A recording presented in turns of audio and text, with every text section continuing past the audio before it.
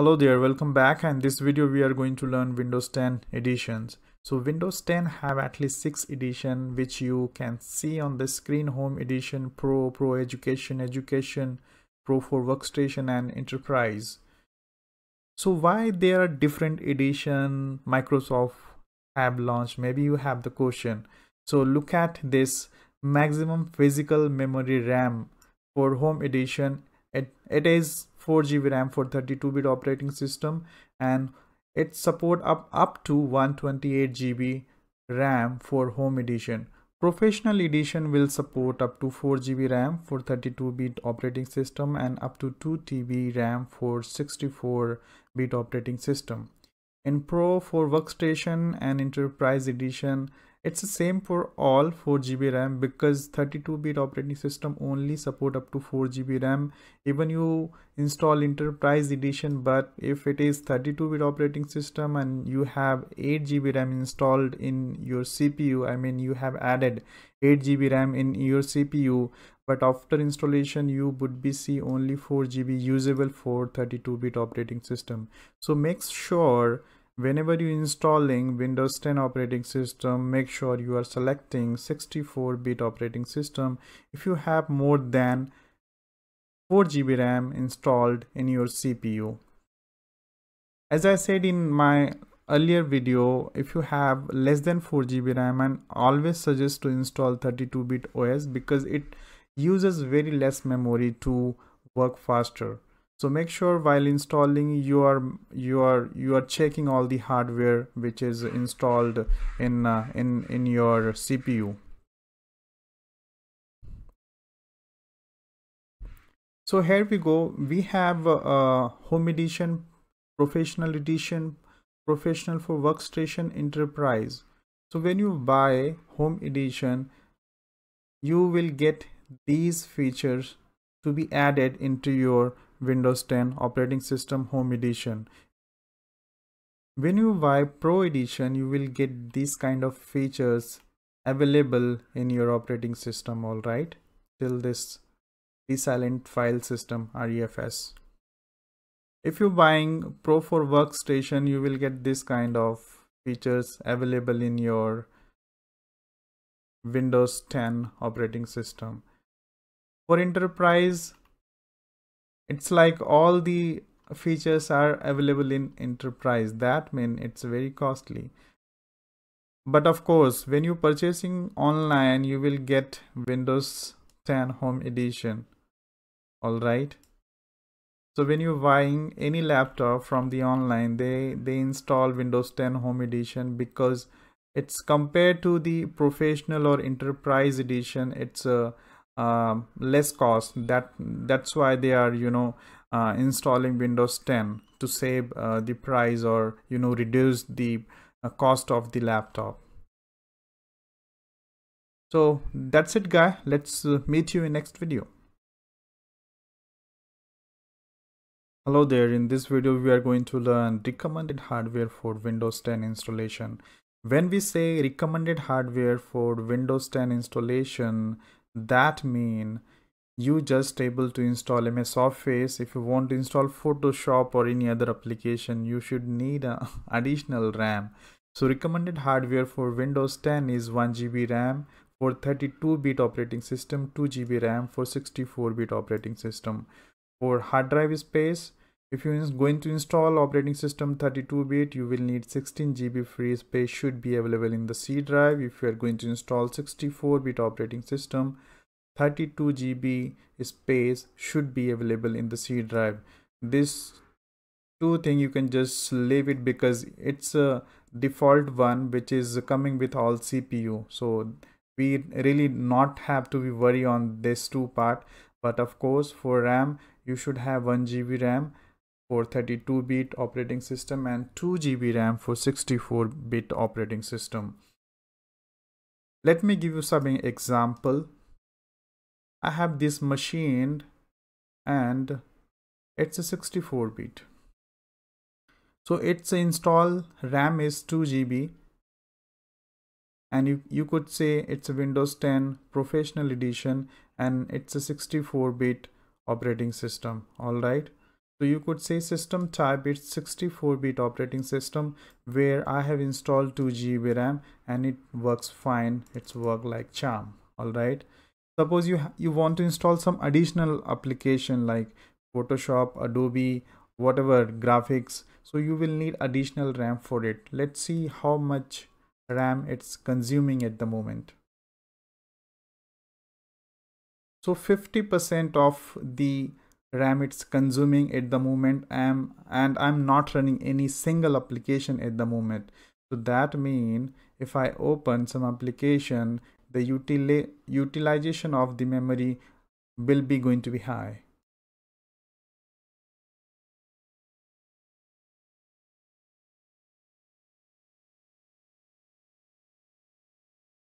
Now let's see.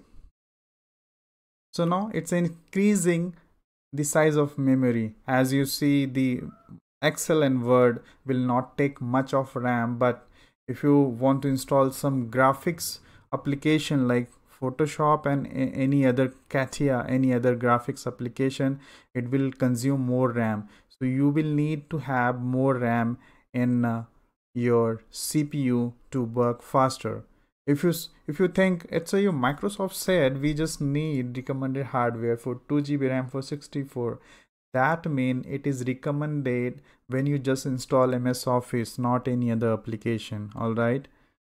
So just ms office and now you're browsing internet explorer and the mozilla firefox the chrome. So that's it. If you want if you want to install some other application you should have additional ram to be added into your cpu so this is all about 64 bit.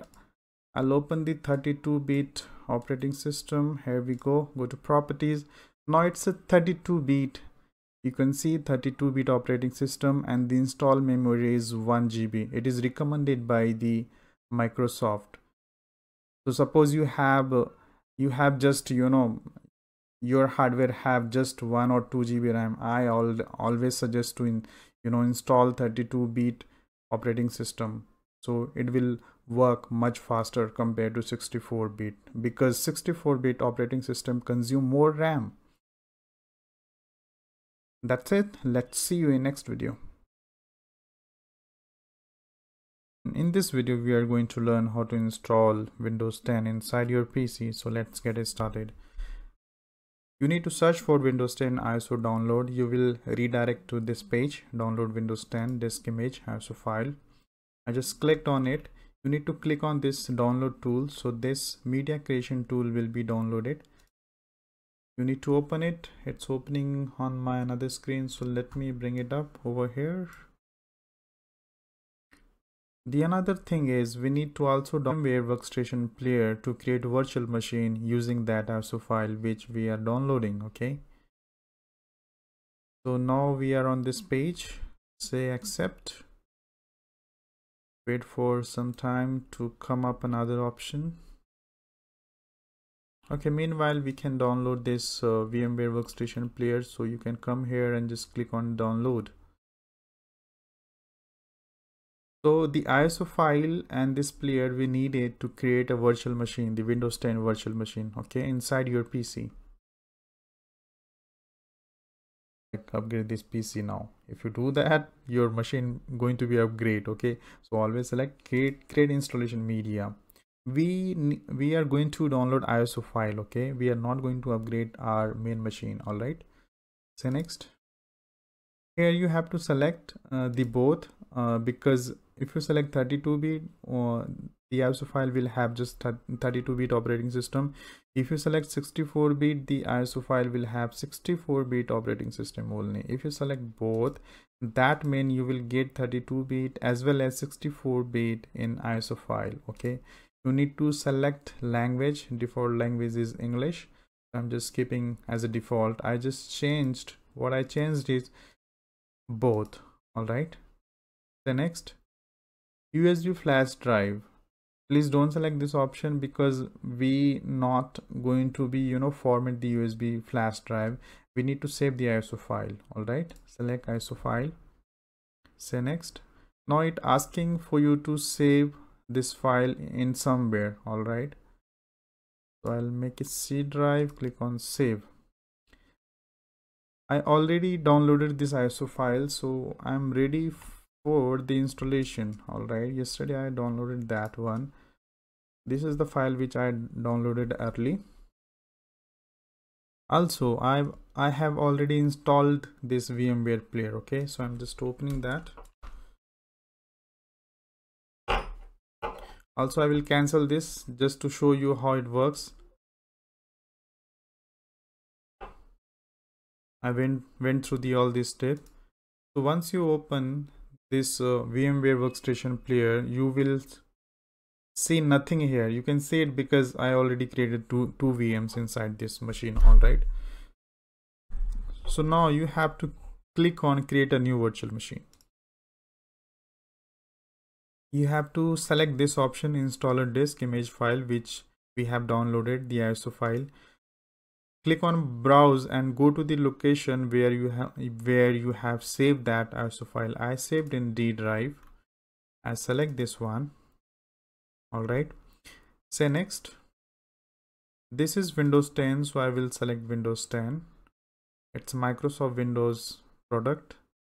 Then next I'll select different location to install the virtual machine. I'll go to D drive. I will create this one.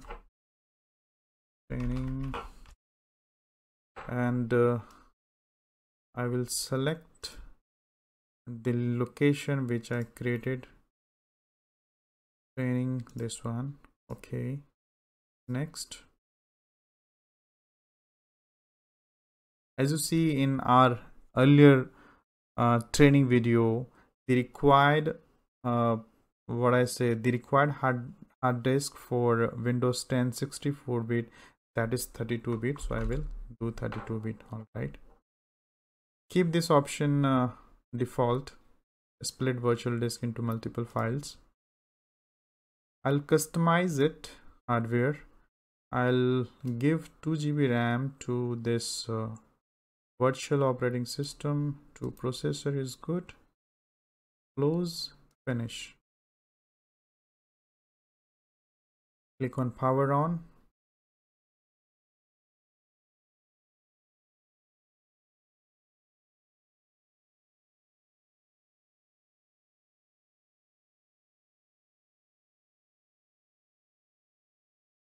Once you click the mouse you will uh, not able to you know exit uh, from the mouse.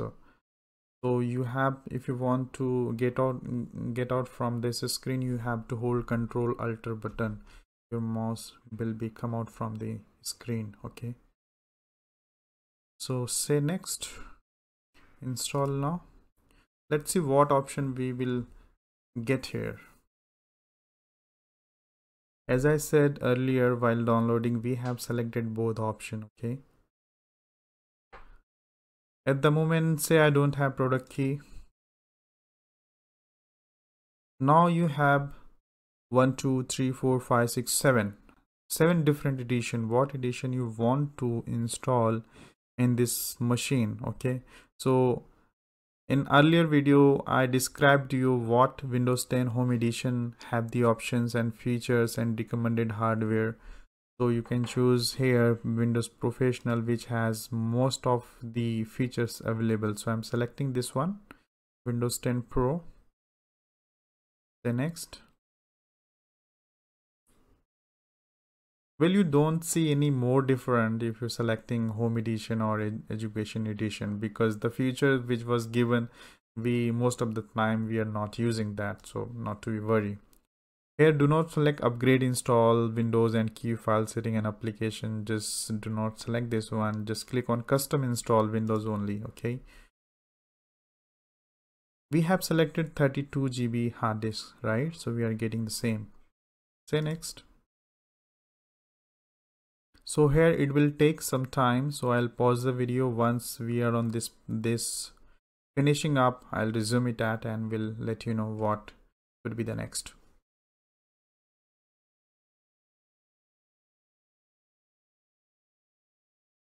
Okay, so once we were on finishing installation, the system will reboot, not your physical machine, but yes, the virtual machine, okay?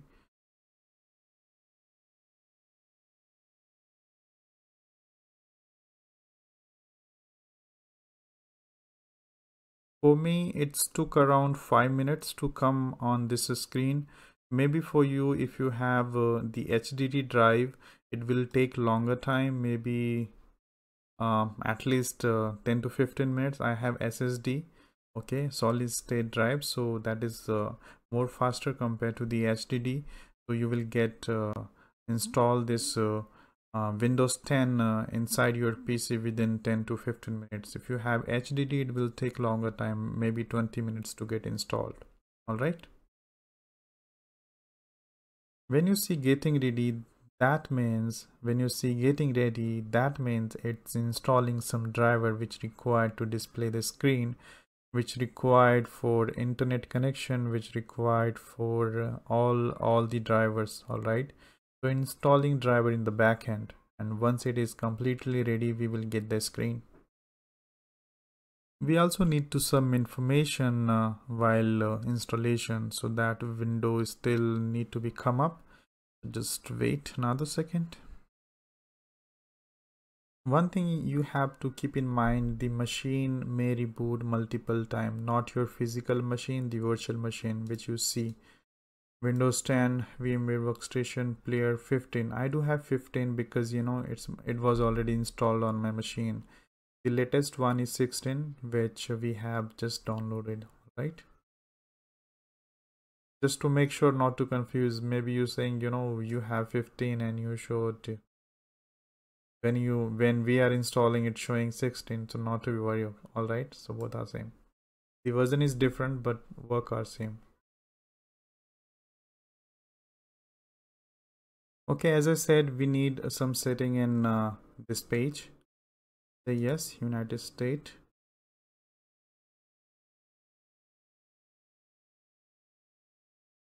Keyboard US yeah. I just want one layout so skip this one. Okay now here we need to put uh, the name I'm putting training for now. Password. As you wish.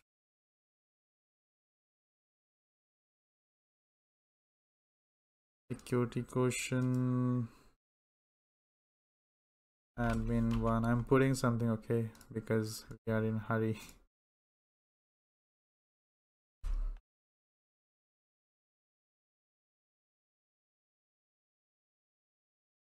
can put right thing because you know if you forget the password that will uh, help you to you know recover your password. So security question will need that to be answered correctly. All right? So keep in mind while uh, making security question you can select the right one and make the right one answer. Not now. If you want cortana help then just enable that. I just skip it. We are about to be done. We are um, about to be complete this installation. One more thing is while installation make sure you have backup connection uh, backup of uh, the power because you know while installing this if power cut will happen you will lost this VDI you have to install it again okay alright so installation has been completed and uh, we have the, the screen.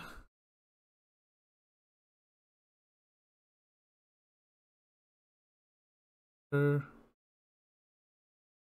you could see we have given 32 GB hard disk space hard disk space from our physical machine. So it is used at least uh, 17 GB all right. So let's see what we have installed. We have chosen vinyl installation the professional edition. If you go to properties you will see that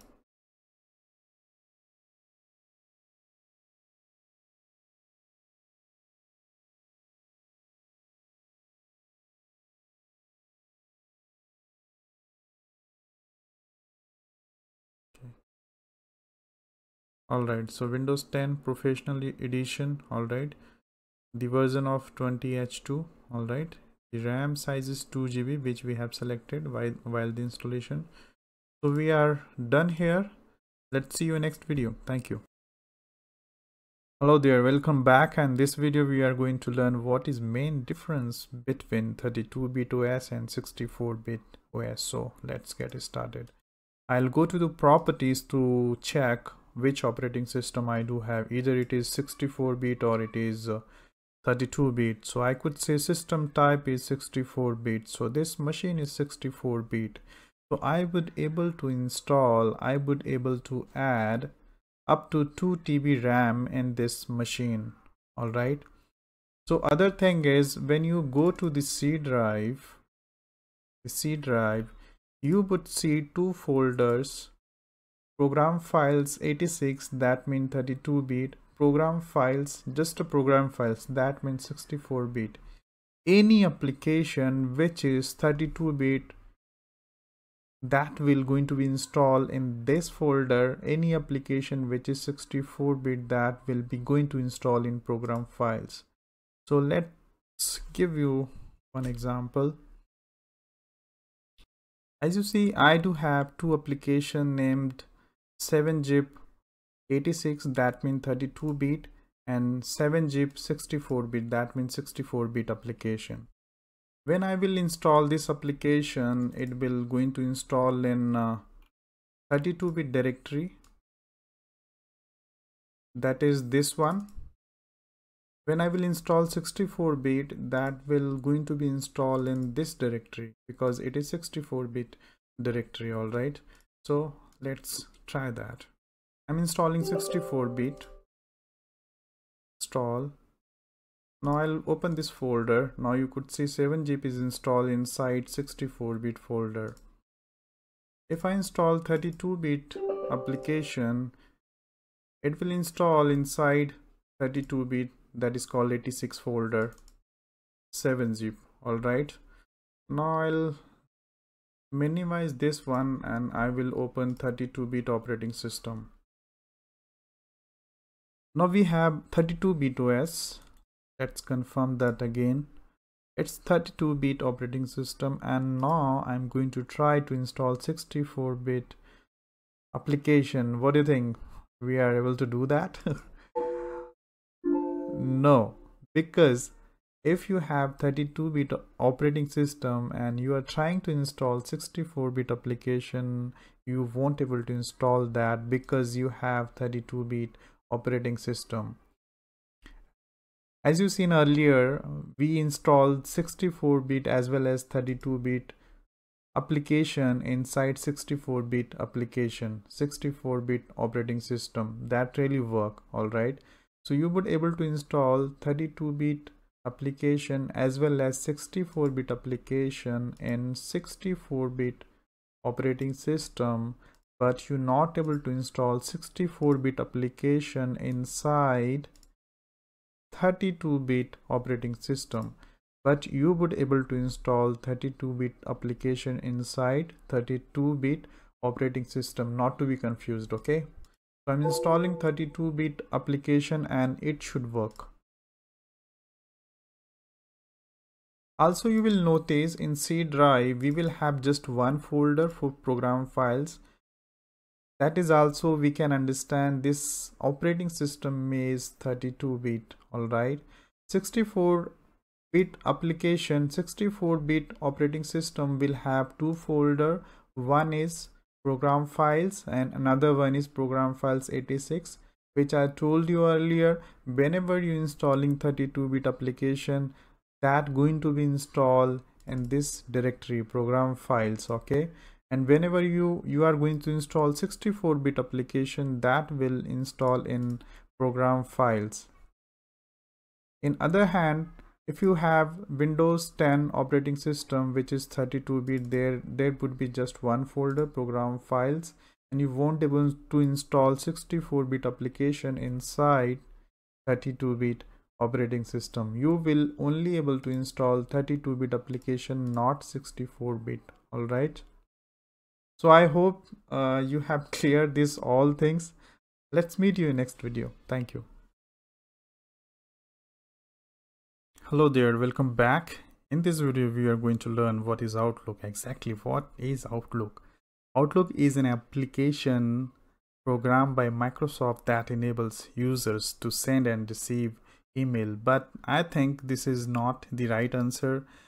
Exactly, Outlook does send and receive email, but there is a lot of things you Outlook also can perform. So let me open the Outlook and we'll take a look. So this is the Outlook. It's Office 2016. That means it's Outlook 2016 version. Okay. So how you can check what is the version of this Outlook? Go to the files, go to the Office account. Here you can see Office, Microsoft Office Professional plus 2016 all right. Even you will get the notification the idea where the outlook where the ms office is activated or not. If it is not activated you will get here. Please enter the license uh, information. All right. So i'll go back. So as i mentioned earlier this is not just application which do send and receive email there is a lot of features you can perform on the outlook like calendar contacts to-do list meetings a lot of things.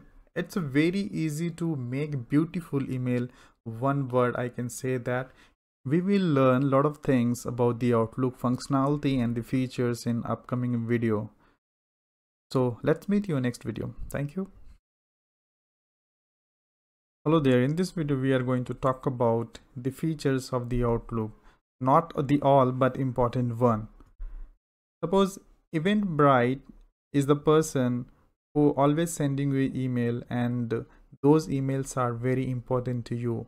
And you wanted to not messed up those all email which is coming from the Eventbrite all right? So you want to you want to create a separate folder for it. So whenever email you will get from the Eventbrite that will save into the particular folder and you will not miss those emails all right? So click on that email particular email which you want to make sure which you want to monitor okay? So i clicked on eventbrite i'll go to the rules. I will click on always move message from eventbrite i will click on inbox and i will click on new and i'll make the folder eventbrite all right.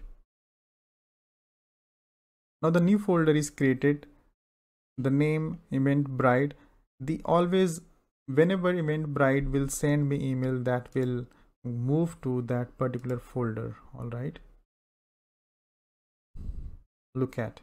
So whenever the email come from the Eventbrite that will gonna to come in particular folder not inbox because you know there is bunch of emails you will get uh, within a minute. Every minute you will get bunch of emails. So you want to monitor the particular person or particular mailbox you have to create a rule and you have to you know make a relevant name of that particular folder. So you can just monitor and you will not miss the emails so this is you know this is just just i give you just single example of the features of the outlook. There is a lot of feature you can do that how to fix outlook issues.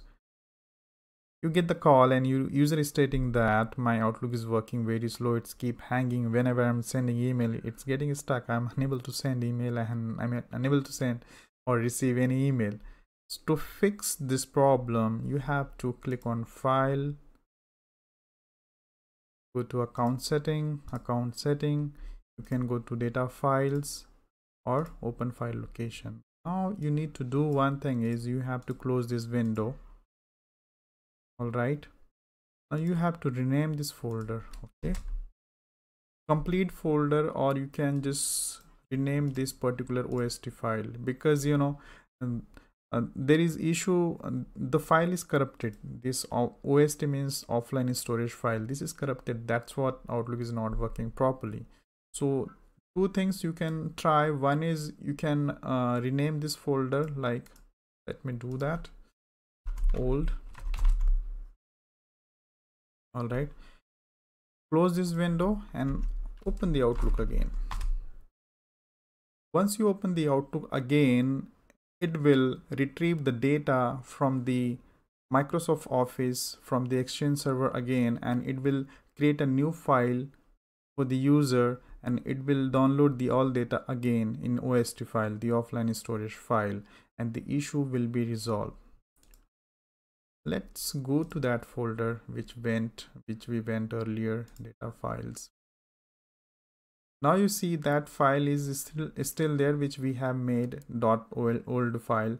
Now this is another file which is now creating, all right? And you will see it will keep increasing till 97 MB right? So the all the data which is saved on the server that will download again and the problem will be fixed. So this is how you can fix the issue if user is complaining my outlook is working slow it's keep hanging it's i'm it's getting stuck while sending emails so these all problem will be fixed when you rename this folder and the outlook will download the all files from the server again and it should be fine. Let's see you in next video. Thank you. We're going to learn all about the add-ins. All right. The user is calling you stating that some of the functionality, the features I don't see like the Skype meeting and uh, the OneNote. So I just wanted to add some uh, emails in uh, OneNote and I really don't see the option available on my uh, home tab. It was there earlier but somehow it's missing now. Also when i went to the calendar i really don't see uh, the skype meeting option is available to send a uh, meeting notification to my um, colleague so what you have to do is you have to go into file option go to the options go to add-ins and whatever add-ins are enabled or disabled you would exactly look at here. So inactive application add-ins. So you could see the skype meeting is in in inactive state. Also the one which user were looking for the OneNote also that is disabled so you have to select this one com add-ins okay and click on go. Now you have to enable the add-ins which user is looking for like skype and user said OneNote also missing. So you can check these two boxes to enable these add-ins. Say okay. All right so add-in should be there okay. I come to email. Back home now i could see OneNote uh, let me close the uh, outlook and we'll uh, open it again.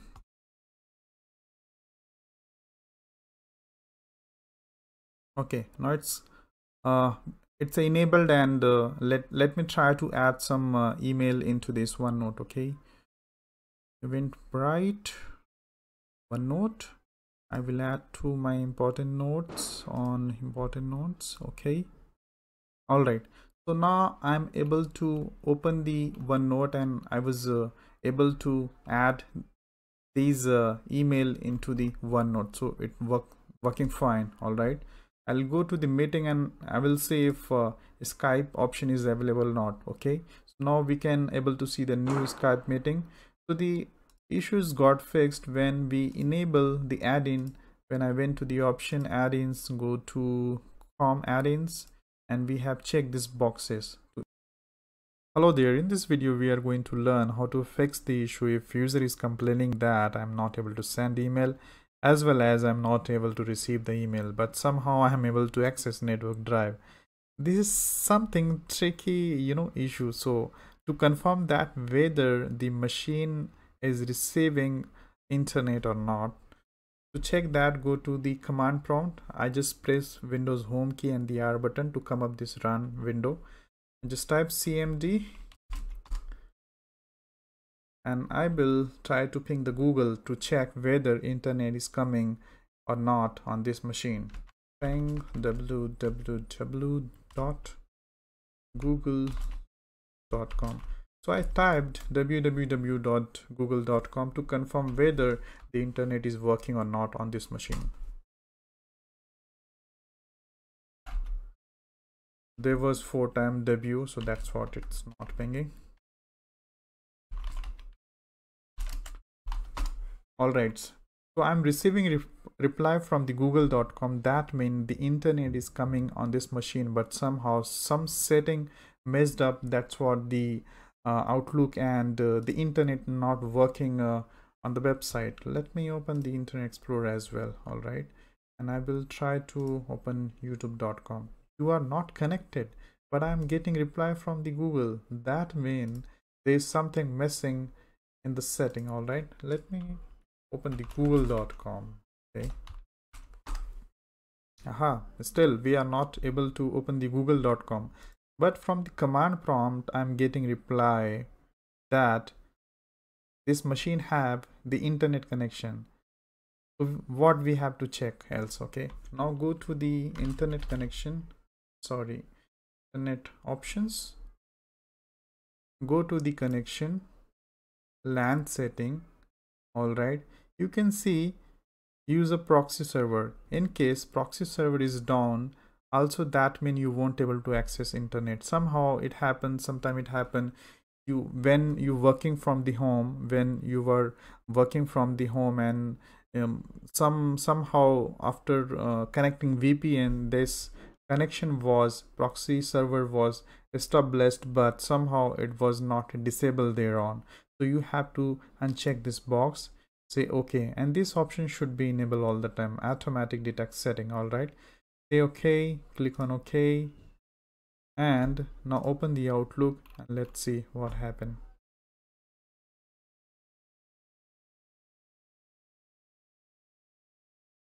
One more try we will give up give that that one is uh, okay now it's connected to microsoft exchange. Now i will try to open the google.com it is also working so the issue was the connection setting in the internet explorer. So what i was did is i went to the internet option i went to the connection setting i went to lan setting and i just unchecked this box.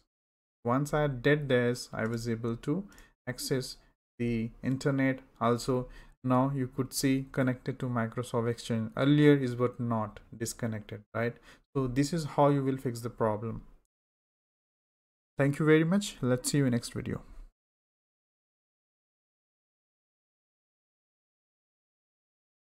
user is complaining i'm not able to send any email. The all all emails are getting stuck in outbox. To fix this problem why it happened let me show you. Because you you could see 35 MB that is not allowed in company environment. It should be uh, less than 15 MB or 20 MB come uh, that also depends on the company policy how much they are allowed to send the file uh, in in MB all right so if your user is stating that all the files are getting stuck all the emails are getting stuck in outlook that means there's something happened with the user. Also they are not able to delete that because you know it's uh in it's a stuck on outbox and it's a trying to outlook trying to send that email so you won't able to delete that as well. To delete that you have to go to send receive and you have to select this option work offline all right and now you would able to delete that. That's it. Now you can just go back again on work offline click that back. All right. Now user would able to send email and please that you are sending more than 20 MB file that is really not allowed as per the company policy. The file size which have less than 50 and 15 MB you would able to send that file but not more than 15 MB. So if you want to send you can just send the um, distribute the file in uh, 15 MB size and you can you would able to send that. So this is how you have to inform the user and uh, the issue would be resolved.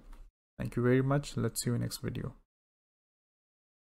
hi there welcome back in this video we are going to learn how to reset user password or how to unlock user account so let's get started we need to open this tool active directory users and computers i'm opening it now we received the call from the user saying that I just forget the password. Could you please reset the password for me? So we need to search username or employee ID by here. So I'm putting the name of user is John. Okay. I got the John here. I open it. Before reset the password of the user, make sure we are authenticated like user the calling the person who is calling us he is the right person he is the employee of our organization to check that to confirm that we have to you know check something like we have to confirm users manager name we will go to the organization tab and we will ask user what is your manager name? Once user confirm my manager name is matt we will authenticate. Yeah this is uh, our employee and we are uh, good to reset his uh, password.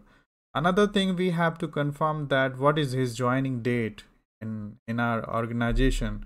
To check that we have to go into the object tab. I'm looking for that where it is. Object all right so we need to confirm when he, he uh, when he joined this organization. We need to confirm that all right? Once is confirmed this is my joining date we are good to reset the user password. So i'll right click on it. I'll go to the reset password. I will check this option as well if account got logged out okay? We will put the new password and same password we have to provide to the user all right? I'm putting this new password come on.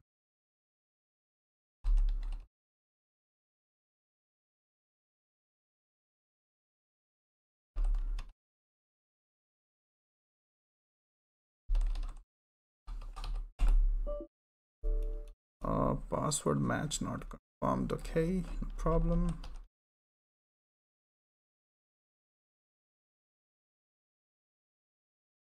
My keyboard is very small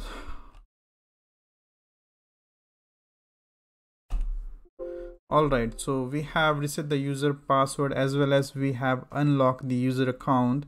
And the password which we have entered at the moment same password we have to give to the user to log in all right?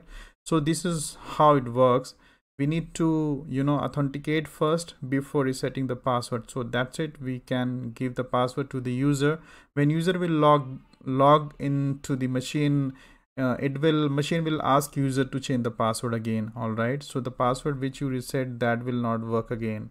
Because you know for some security reason once user will log in it will ask for ask user to put the new password. So that's it. So how it works. Let's see you next video.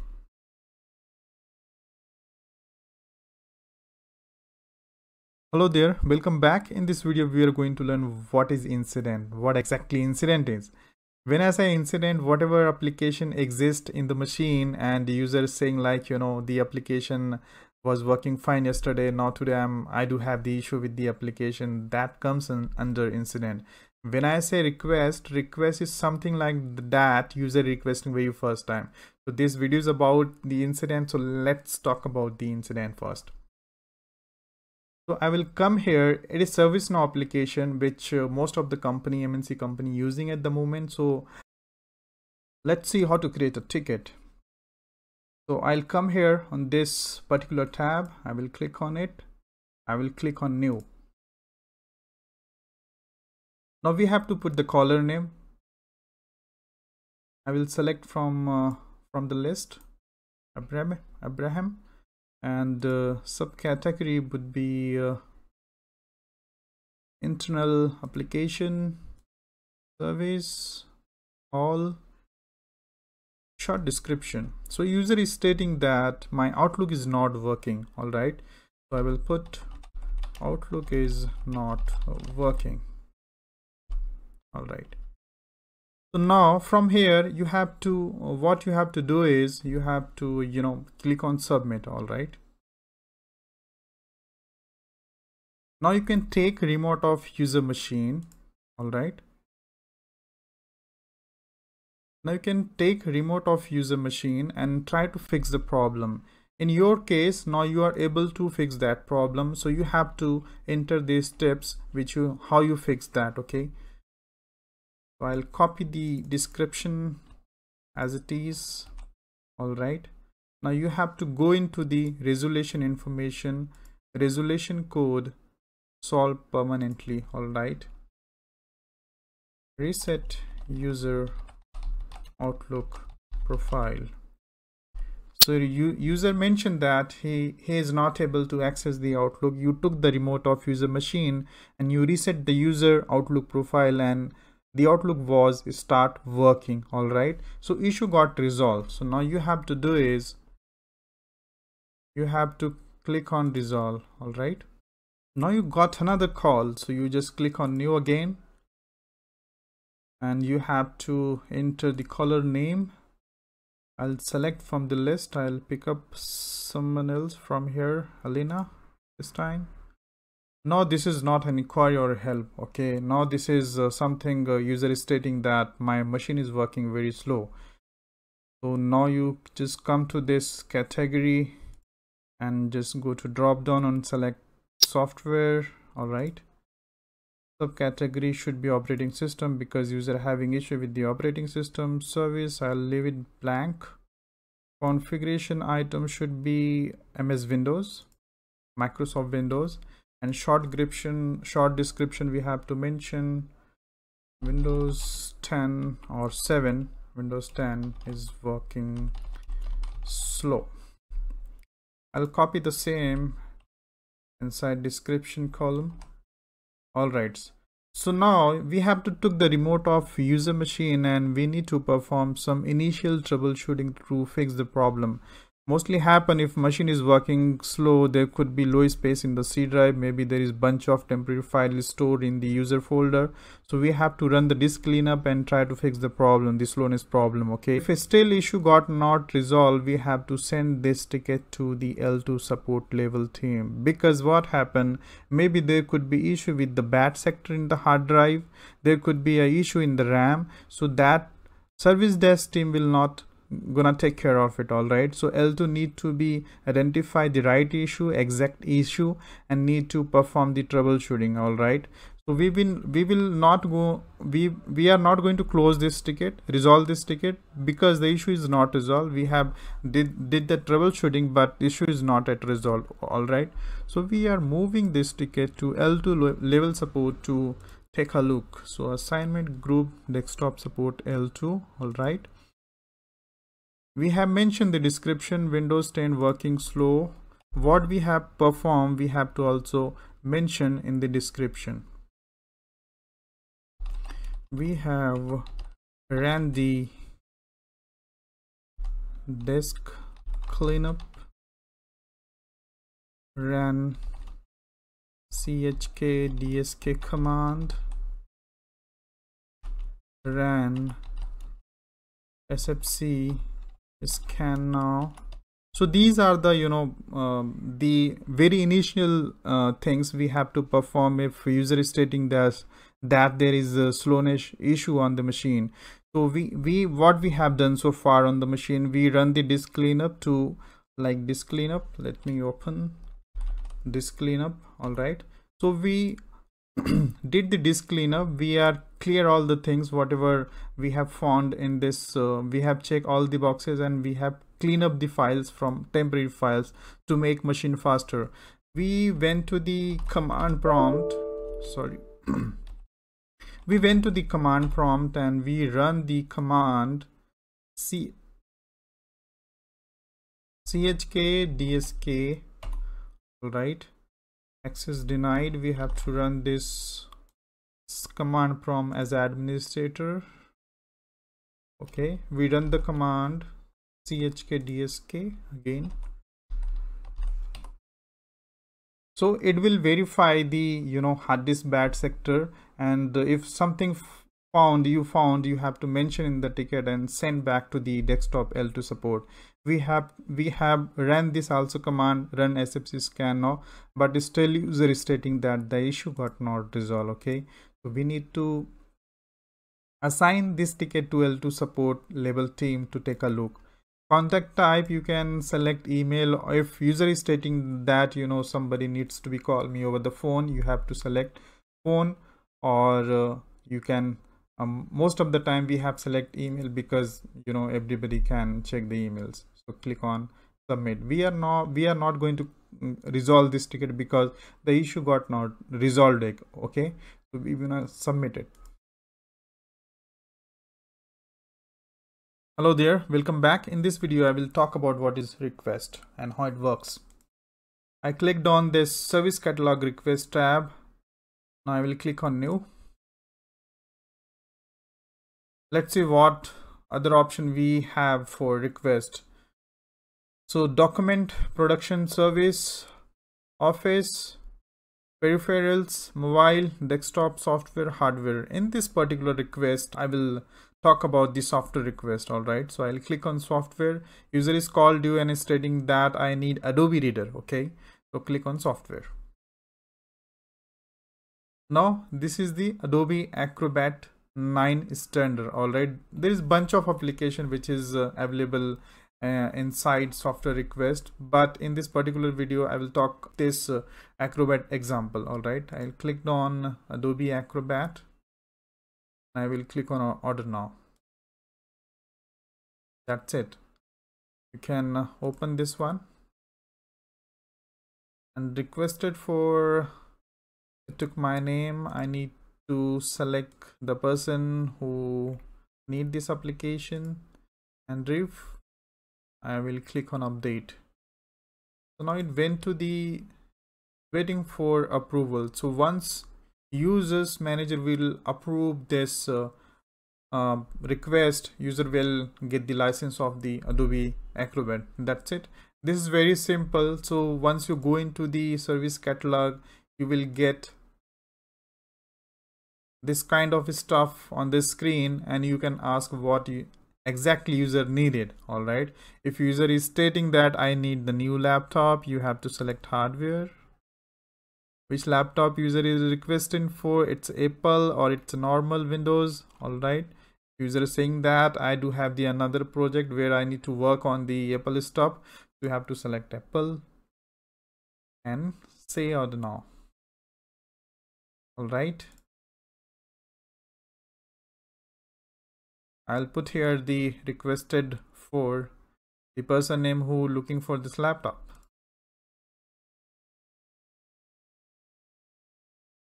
All right, update. So we are good to go. All right, you can just give this number to the user and uh, ask user to you know check with uh, your manager and take the approval. So once it is approved it will go to the particular team the concerned team and they will purchase the mac pro for you and they will deliver to your home. So that's it. We are good to go. And uh, the ticket will close by the person who provided the laptop okay? The team who provided the laptop to the user.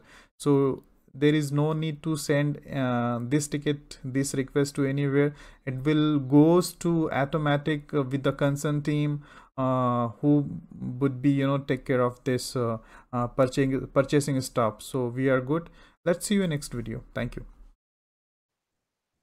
Hi there. Welcome back. In this video we are going to see if user is calling service desk and uh, asking to raise request for a new laptop how we are going to be handle this call. So let's get started.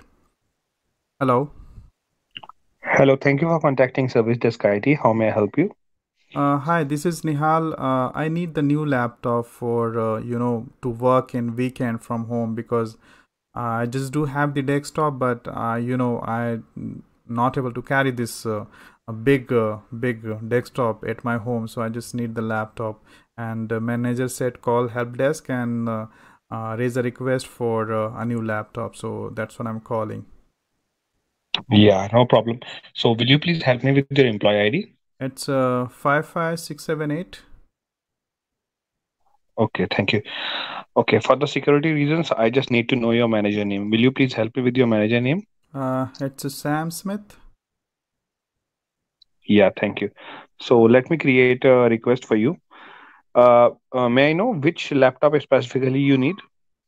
Uh, I need a Apple laptop because you know there is software development work which uh, I need to work uh, in weekend and that requires the Apple uh, Apple book. Yeah. Okay. Well, we do have two Apple laptops. one is a MacBook Pro uh, which is 13 inches laptop, and another is uh, Apple MacBook Pro, which is 15 inch display uh, module. Uh, I need the 15 inch model display because you know I need to develop some uh, graphics uh, website, and that's what I just need big screen, not the 13. So 15 is good for me. Okay, thank you so much for the information. I just raise a request on behalf of your laptop requirements. So a request number has been generated by me, and you will receive an email notification with this request number. So what will happen is uh, this request number will be forwarded to your manager. After the approval from your manager, the respective uh, hardware team will connect you soon, and they will uh, provide a laptop to you. Okay, so uh, do you know how much time it will take to get delivered this laptop at my home? Any idea? Yeah, as far as I concern, um, it, all, it first of all it depends on your manager approval. After the approval from your manager, uh, this uh, hardware uh, team will help you within three days, three working days. All right, that's fine for me. Okay, so that's all. Thank you very much for raising a request uh, for me. Thank you. Thank you for contacting Service Desk IT Nihal and have a nice day. Yeah, you too. Bye. Hi there, welcome back. In this video, we are going to learn if user is calling you and uh, stating that my Outlook is not working, I'm not able to send email and also I'm not able to receive the email. Also, I'm not able to access any website like the google.com or any other website, external or internal website. So that's what I'm calling, that's what user is calling the technician to get help on it. So let's get started. Hello.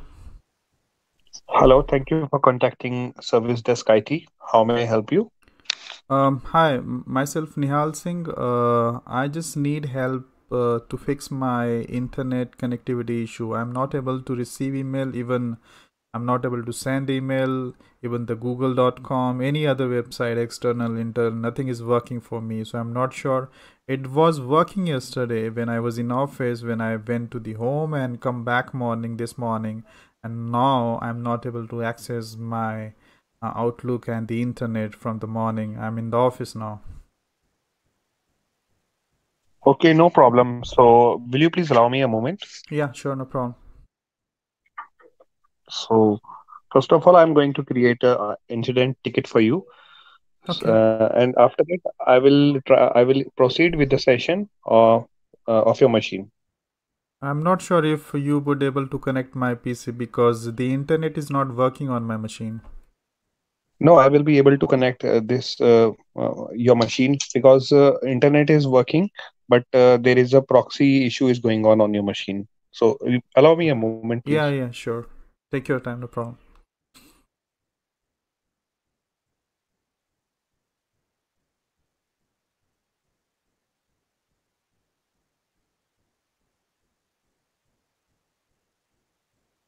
Uh, you need my machine name to connect my PC? Yes, I need your machine name. So please give me your machine name. Okay.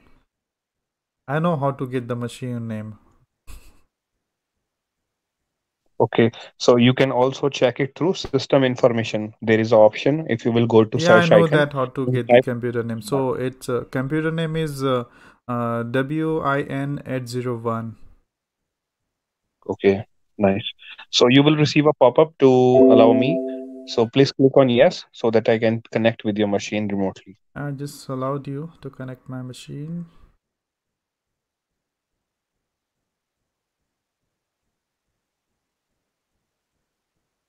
Now I am able to see your screen okay. and uh, I'm going to elevate your machine through a request control. Please click on yes so that I can connect uh, and I can have a control on your machine properly. All right. I just allowed you to control my PC. So let me show what is happening. So you can see now this showing me disconnected and I will open the Google and uh, I will try to open the google.com. Sorry.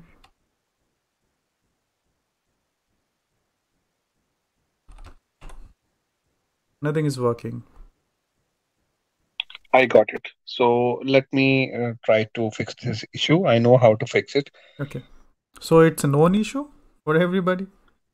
Yeah it it happens. It occurs uh, when normally uh, users uh, uh logging off their machine without disconnecting vpn so please make sure from the next time before logging off the machine after exit after exiting uh, you need to disconnect vpn manually.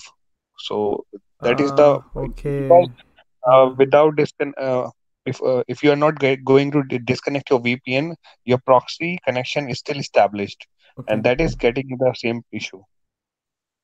Yeah, I think you are right because uh, uh, at the night yesterday I was not disconnected the VPN. I just directly shut down my PC.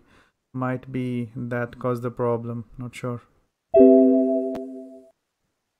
Yeah. So allow me a moment, please. Okay.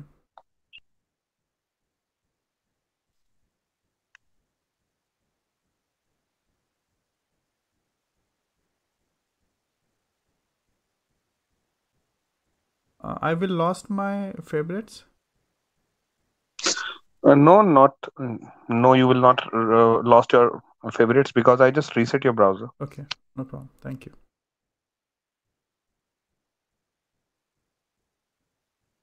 Want me to try again? Yeah, please close the application now and uh, please try once again.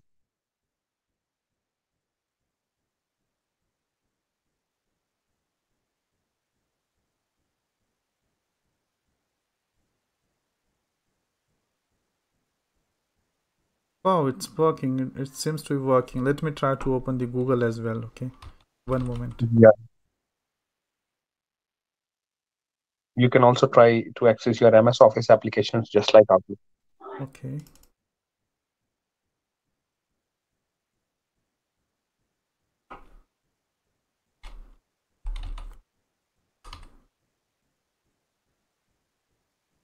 Still okay all right so it shows now connected to microsoft exchange so i think i'm good to go all set now. Yeah thank you very much for fixing this issue. Thank you. Yeah thank you for contacting service desk it nihal. And uh, uh, apart from this uh, is there anything else that i can help you with? Uh, no that's all. I just need support and so you just fixed the issue so i'm all set. Thank you very much so I already created an incident a ticket uh, in reference to this issue, and you will receive an email notification with the result with the resolution. I'm going to resolve it. Thank you. Yeah. No Have a nice day. Yeah. You too. So the guys, the issue got resolved. What uh, the technician has done is he reset my um, what I say the internet setting, and after that I I'm able to access uh, my google.com the internal external website and also i'm able to access the outlook. So technician went to advanced tab and clicked on restore advanced setting and clicked on reset and after that the issue got re resolved. Now technician as you see on the screen on the screen technician is going to close this ticket because he has fixed that issue so that's it in this video. Let's see you in next video. Thank you. Hi there. Welcome back. In this video we are going to learn if a user is calling you and stating that my ms office is not working it's not opening. When i'm opening it it's giving me some some kind of the what i say the installation window and i'm not sure what to do with it so let's uh, see it how uh, the uh, technical person can fix this issue so let's get it started hello hello thank you for contacting service desk it how may i help you uh, hi, my name is Nihal Singh. Uh, when I'm trying to open the MS Office, uh, you know, it's uh, showing like installation. I'm I'm not very sure what to do with uh, this uh, window and just I'm stuck completely stuck. I'm not able to work in Excel file, Outlook file. So whatever application I'm opening for MS Office, it, it's not working. Okay, so could you please help me for that? Yeah, sure. Uh, I can help you with this. Uh, I need to uh, take the session of your machine. So will you please allow me a moment? Yeah, sure. No problem. Yeah.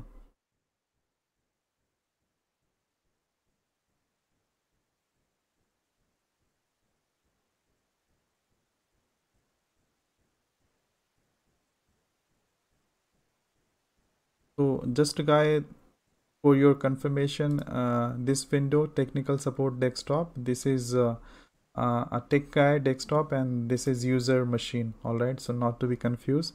So at the moment the technician is creating a ticket for me uh, to work on my issue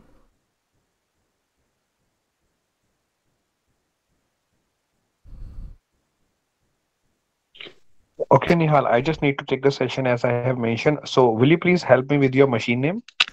uh, machine name i'm not sure how to get that machine name Okay, so you can do one thing. Uh, you can go to your system information. There is an option. If you will go to your search icon, there is an option system information. So when you will open it, you Mhm. will be able to see your machine name. all right i'm opening it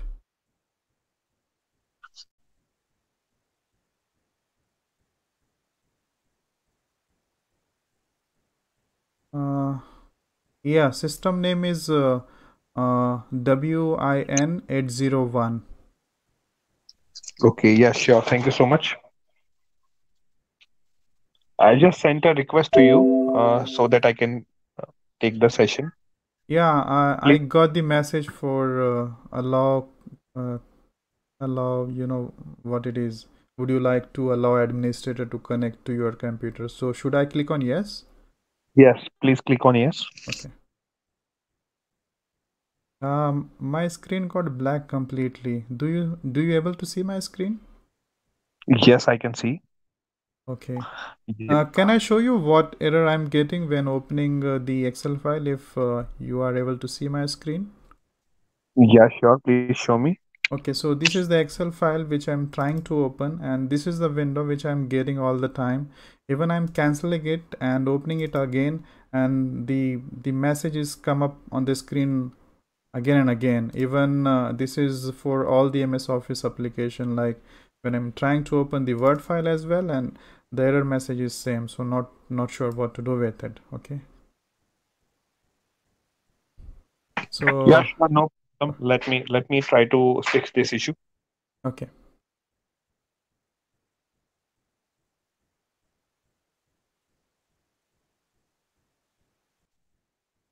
uh, are you able to control my machine Yeah, yeah. So I'm going to send a request control to your machine. Please click on yes.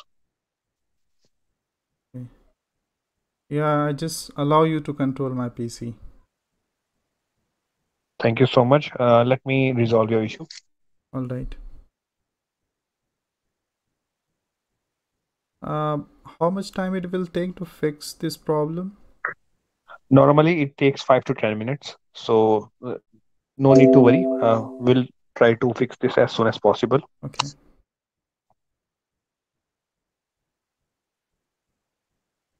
uh, will I be lost my uh, Word file Excel file which I do have after repair or No. reinstall You will not re- uh, lost anything because I'm just trying to repair your MS Office rather than to remove it. okay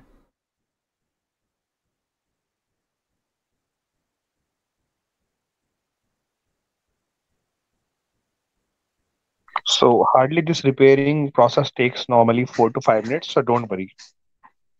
okay that's fine for me I will put your call in on hold okay Yeah, sure. Thank you so much. So guys, repairing is uh, in process and uh, as a tech technical guy said, it takes around 5 minutes. So actually it takes around 5 to 10 minutes. So let's see.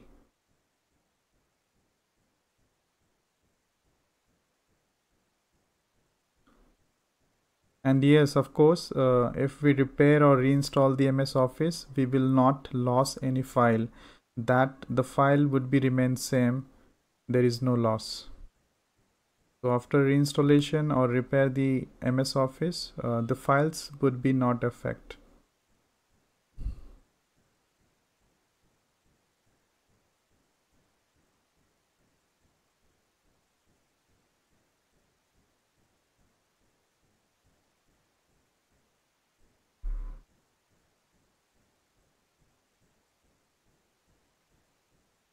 Uh, hello, I'm back.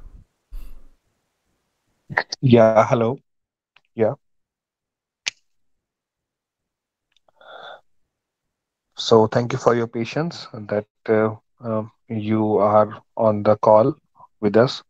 so it keeps on uh, repairing and will be repaired uh, very soon okay do you know why it happened? Is there any particular reason? It's uh, it was uh, failed to open? Uh, there is any way we can check it or normally it happened? Because you know yesterday suddenly my machine got shut down multiple time because of the power cut issue. Maybe that could be the reason. I'm not sure but i'm just uh, telling you the maybe it could be the reason to uh, have occurring this issue. So not sure so this this error normally uh, happen with um, many employees uh, who are in multiple organizations. But uh, normally it is due to the file issue. Um, some files are maybe corrupt or some files are not compatible in the office uh, uh, office packet package. So due to those files uh, this issue came. And after repairing this process those files has been removed completely. Okay okay Thank you for the information. Yeah, no problem.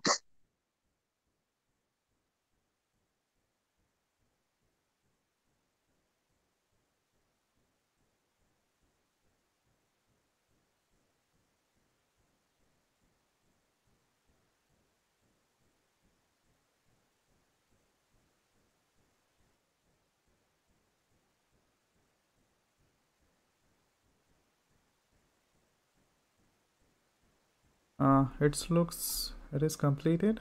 Yeah. Yeah it is completed now. So now you can try to uh, now uh, i'm going to reboot your machine. Yeah. after that you you will be able to access all the applications of ms office normally.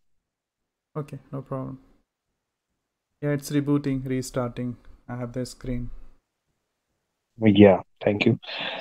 And uh, uh, then you will be able to access your Excel, MS Office files, Outlook also. So this issue is normally happen very with very uh, very much employees. So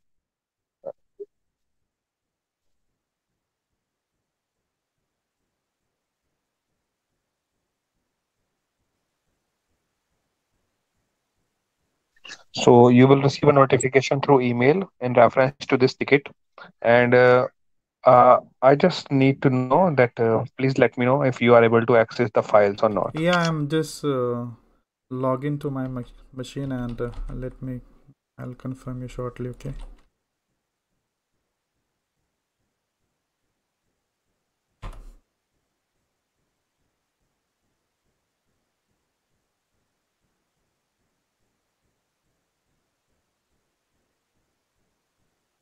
Okay perfect. The outlook is opening now. Uh, i'm trying to configure my email so let's see if uh, also i'm able to get into my outlook okay? Yeah sure. Please check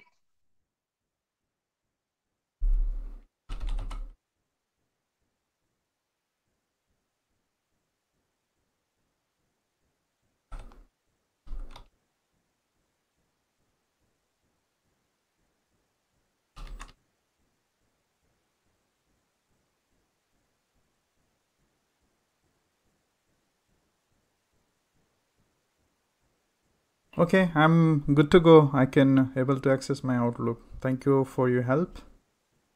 Thank you for contacting service desk it nihal. And uh, i'm going to close this ticket and you will receive a email notification for that.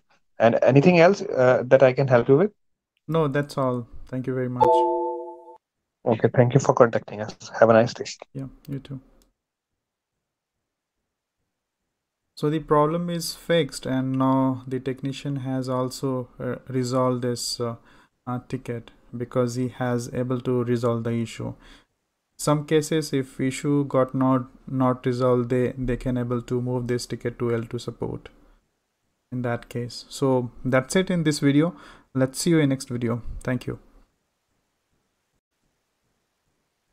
Hi there, welcome back. In this video, we are going to see if user is calling you and stating that my machine is working very slow and it was working fine yesterday, but today when I reboot the machine and suddenly started working very slow and uh, user need help on it. So let's get started.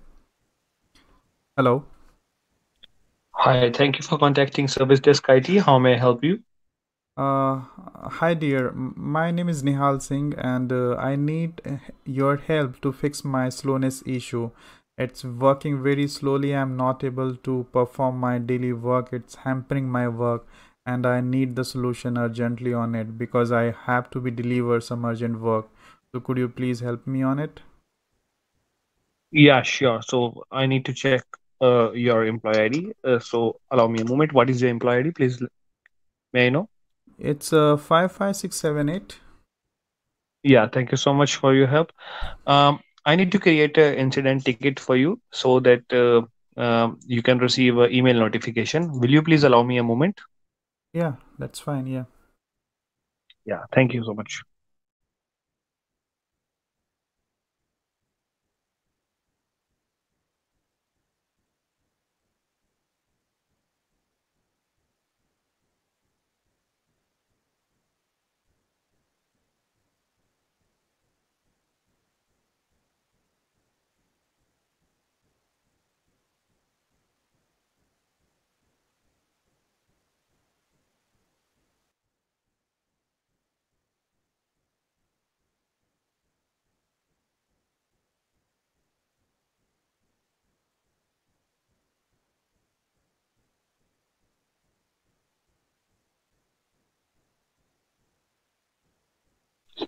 So Nihal, I just created a ticket for you. So uh, I need to connect uh, your machine uh, uh, from my desktop remotely. So will you please allow me with your machine name? Okay.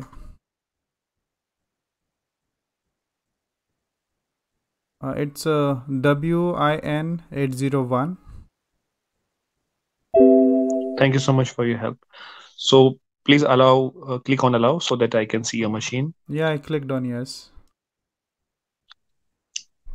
Okay, I'm going to send a request controls uh, pop up on your machine. Please click on uh, yes. Yeah, I granted your permission. Thank you so much, Nihal. So now um, I'm going to check the bad sector if any exists in your drive. So what is going to be happen if there will be any bad sector in your hard drive, then your your complete hard drive will need to be replaced. In case if the bad sector will be zero, then I will repair your operating system accordingly. Uh, listen, when you say I need to replace the hard drive, that you mean I will lost all the data which I do have in my C or D drive? No, you will not uh, lost any data. So uh, it depends. And secondly, uh, please let me check. Then I will let you know. Okay. Okay.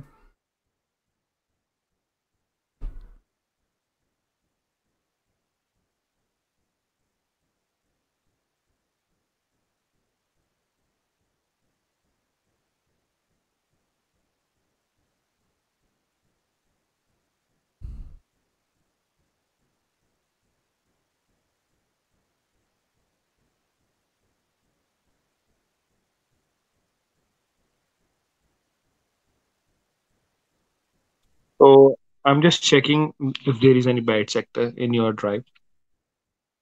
Um, do you know how much time it will take, how much time it will consume? Because as I mentioned earlier, I need to deliver some important work and I need to, you know, uh, get ready this PC as soon as you can uh, fix it. So any any idea how much time it will take? Yeah. So normally it takes 30 minutes to one hour. And uh, what I'm going to do, I'm going to send an email to you. So after this process will keeps on updating. So make sure this window should be open. So after the completion of this process, uh, you can reply if if your issue has been resolved. You can reply on the same email that I will. I'm going to send you now. Okay, so um, when this window is open, would I would I able to perform other work or just I need to wait till this finishes off? No, so you can you can also work with other tabs also, um, but make sure this tab should not be closed. Okay, I I got you. Yeah. So uh, you can see here the bad sector option is zero kilobytes in your drive. So what I'm going to do is I'm going to I'm going to repair your operating system completely. Okay. Yeah. Yeah. So allow me a second.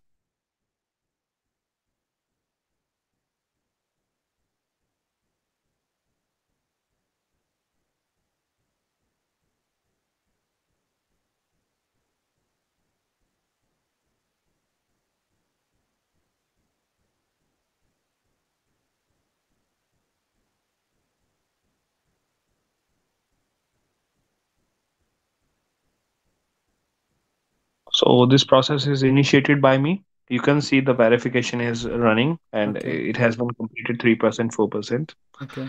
So now I'm going to send an email to you. Okay, so you want me to stay on the call or you are you are done with your work? Yeah, so I'm done with I'm done with my work and uh, you can reply on the mail that I'm going to send you after the completion of this process. So can I close your uh, remote connection because there is some, you know. Yeah, yeah. You can close it. Thank you. Okay. So Is I'll there wait. anything? uh, I will let you know. I will let you know once it is on 100%, when it is done. And uh, please, uh, I'll, I'll, I'll, I will also let you know whether the problem is resolved or not. So accordingly, you can just get back to me to uh, support me further on it. Okay. Yeah. So after your answer, I will get back to you. Okay. Thank you so much. Bye. Yeah. Thank you. Thank you, Nihar, for contacting Service Desk IT. Have a nice day. Yeah, you too.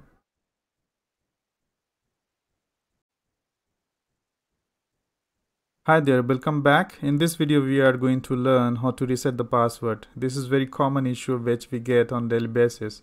So just I'm going to call back the service desk guy to uh, take the help from uh, resetting my password. All right.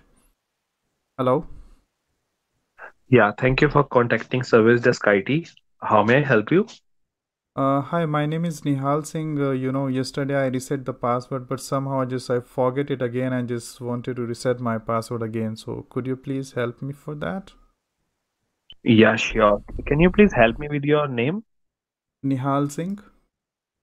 Okay. One, uh, give me a second. Yeah.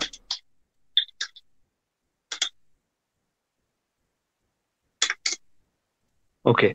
Nihal, can you please uh, help me with your employee ID? Uh, it's five five six seven eight. Okay. Okay. Uh, can you please help me with the manager name? Sam Smith. Okay. Thank you so much for your help. Allow me a moment. Let me create, uh, let me reset your password. All right, thank you.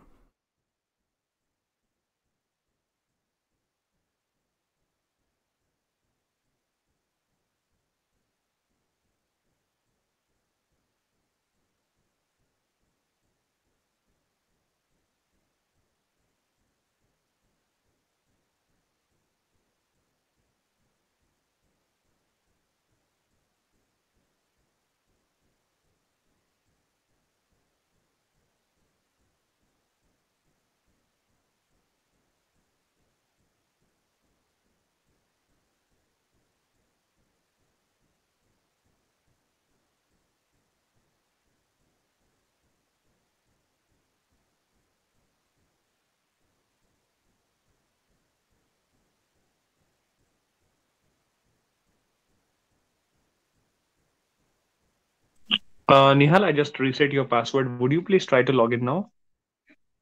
And uh, should I use my previous password, which I reset No, no, no. Yeah. So your new password is welcome at one two three, and W is in caps. All right.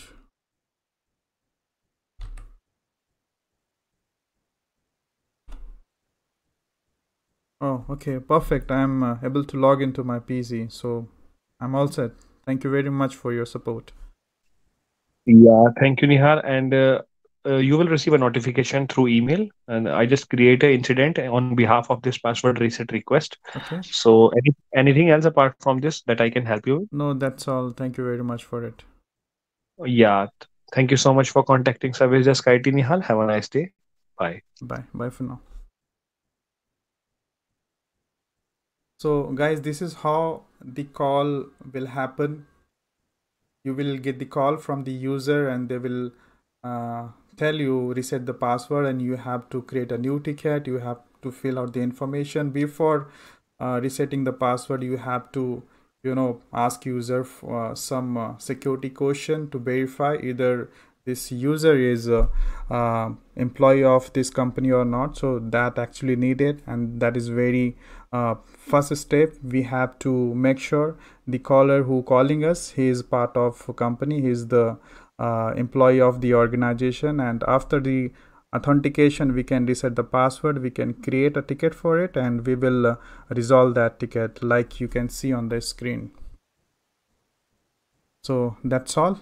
Let's see you in next video Hi there, welcome back. In this video, we are going to learn, suppose user is calling you and asking you to, you know, raise a request behalf of you to get this software installed on your machine. So how it will happen. So let's get it started. Hello. Thank Hi. you for contacting Service Desk IT. How may I help you? Uh, hi, my name is Nihal Singh. I just need uh, a software, Snagit. It, it is called Snagit, and I just wanted to install this application in my machine. So I just need help on it. Yeah, sure. Will you please help me with your employee ID? It's uh, 55678. Uh, yeah, thank you. And may I know your manager name, please? Sam Smith. Yeah, thank you so much for the information.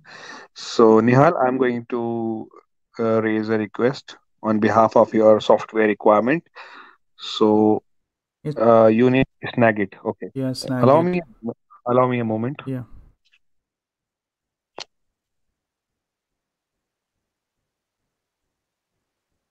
Uh, I need version 11, so not sure if it is available with you. Yeah, it is version 11 that that I have requested for you. Okay, thank you. So please note down the request number. Your request number is REQ. Okay. R for Romeo, E for Echo, Q for Quest. Okay. 0010008. So uh, you will also receive this request number on your email address. Okay. And after this request will be forwarded to your manager. And after the approval from your manager this request will be forwarded to the respective team and that respective team will help you with this software. Yeah. Is there anything else i can help you with? Uh just need to know one thing uh, uh when should uh, this application will install my machine? How much time it will take? This is just i just wanted to know if there is any eta for this uh, application installation on my machine yeah, so as far as I concern, uh, after the manager, after your manager approval, it will directly forward to the respective uh, uh, team uh, who is handling their software requests, and after that, immediately in four days, this software will be installed on your machine. Uh, all right, thank you. Mm, this is what I just wanted to uh, know about it. So that's all. Uh, thank you very much for your support. Yeah, thank you for contacting Service Desk IT Nihal and have a nice day. Yeah, you too. Thank you. Bye. Hi there, welcome back. In this video, we are going to see how to handle software requests. So I'm going to ring the IT guy, okay? Hello. Thank you for contacting Service Desk IT. How may I help you? Hi, my name is Nihal Singh and uh, I wanted to request some application if you could uh, help me for that. Yeah, sure. Uh, will you please help me with your employee ID? It's 55768.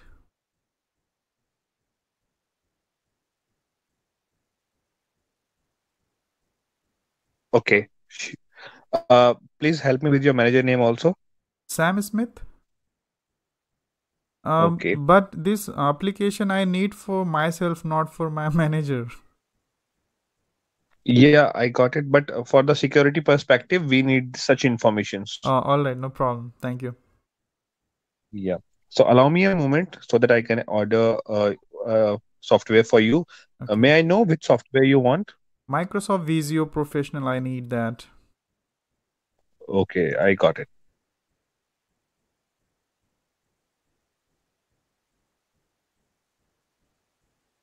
So are you going to install this application in my PC now? No, not now. Uh, I just uh, create an order for you in reference to this application. Okay. And a request number has been generated by this application. Okay. So please note down the request number, and already you will receive this uh, request number through email also. Okay, so just send me email because uh, you know there is nothing I can just note it down. I just out outside of company and I'm calling from my phone, so the notepad okay. is not handy so you can just send me email so i can check that later on So this request number will be sent to your email ID. It's automated generated email Okay. process, and uh, after the confirmation and approval from your manager, this request will be forwarded to the respective team, and they will help you with the uh, further proceedings. Okay. Any estimated time to get this piece, this uh, software installed in my machine? Any time? Any any? I mean, time? Any? Yeah. One Oh. day, two day, three day. How much time it takes? So the maximum time process uh, has been according to the SLA is three working days. So after the approval from your manager, the respective team will proceed uh, within three working days. All right. Thank you. I got you. Yeah, thank you for contacting us. Is there anything else that I can help you with? No, that's all. Thank you. Yeah, have a nice day. Bye. Yeah, you too.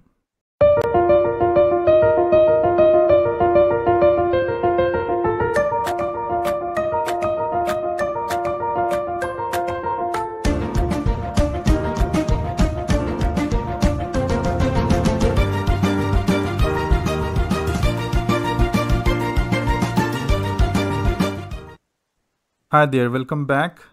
In this video, we are going to see how to handle password reset call. It's a very common issue which we get on daily basis. And it's a very simple one where we can reset the password for the user. Now I'm going to ring the IT support guy. Hello. Hello, thank you for contacting Service Desk IT. How may I help you? Uh, hi, my name is Nihal Singh and uh, I just wanted you to reset my password because I am not able to log into my machine. Yeah, sure. Allow me a moment. Yep.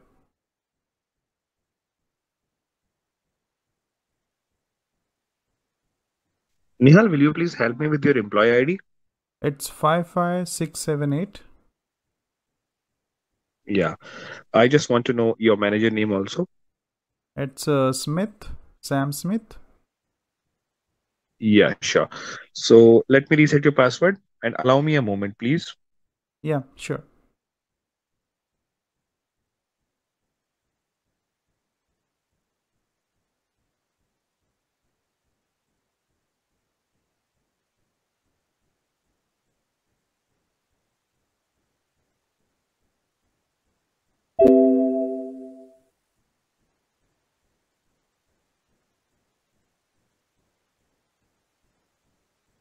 Uh, now you can try to log in with the new password that is welcome at 123. So in which W is in caps. Please let me know if it is working for you. Okay, I'm, I'm trying. You said uh, W is in caps, right? Yeah, sure. Yes, the W is in caps. Okay. Uh, perfect. I can able to log into my machine. Thank you for your help. Yeah, thank you for contacting uh, service desk and I'm just uh, creating a ticket for you and you will get an email notification for that. So I'm going to close it permanently. Uh, Is there anything else if they, I, I can help you with? No, that's all I have. Thank you very much for your support. Yeah, thank you for contacting uh, service desk IT. Have a nice day. Yeah, you too.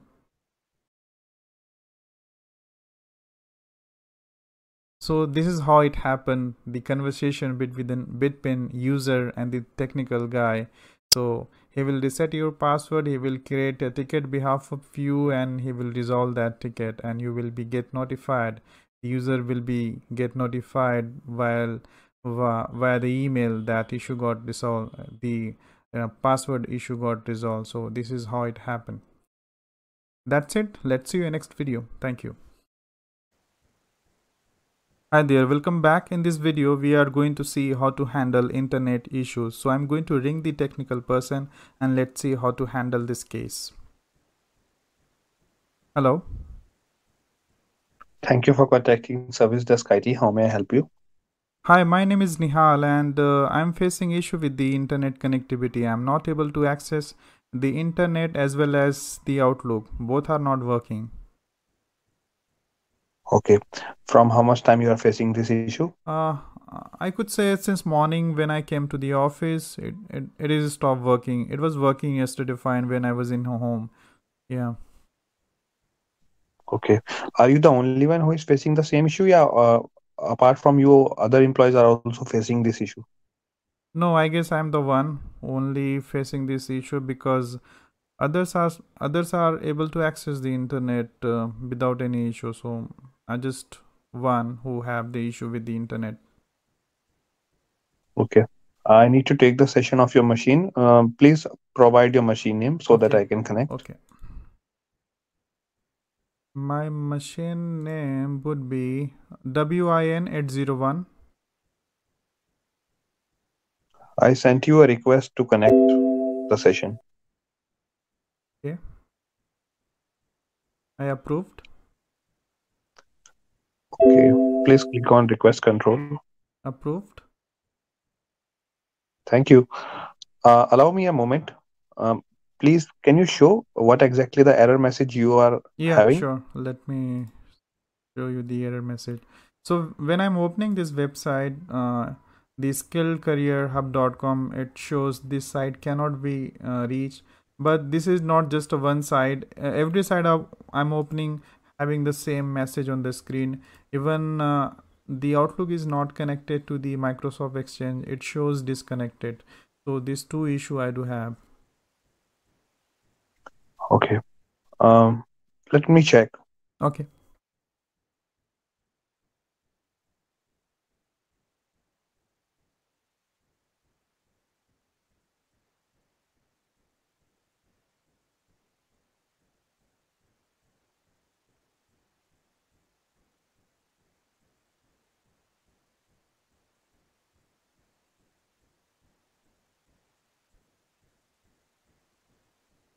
Um, I want you to check once again if is it working or not. Okay, let me try.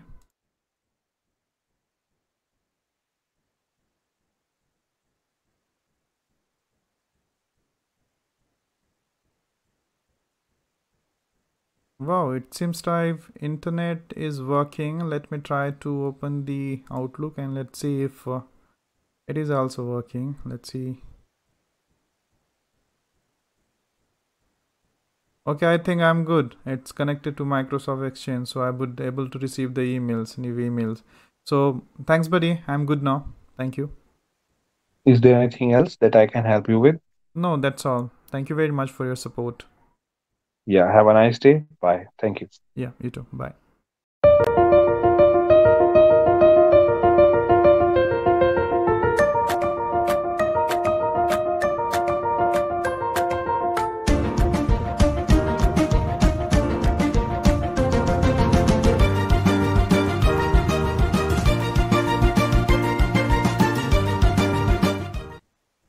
Hi there, welcome back. In this video, we are going to see how to handle the hardware request. When I say hardware request, it could be anything like user is requesting for the laptop, user is requesting for the iPhone, the Android phone, whatever, the printer, and uh, we have to call uh, user have to call service desk to raise a request for this particular hardware. So I'm going to ring the IT guy now.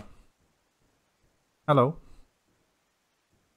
Yeah, thank you for contacting Service Desk IT. How may I help you? Hi, my name is Nihal Singh, and uh, I need the new laptop to work from home in weekend because I just do have the you know weekend work, and I could not carry my heavy desktop from uh, office to my home, so I just need the laptop. Yeah, sure. So, will you please help me with your employee ID? It's five five six seven eight. And may I know your manager name? Sam Smith. Okay. Uh, allow me a moment. Let me create a request for you. Yeah, sure, no problem.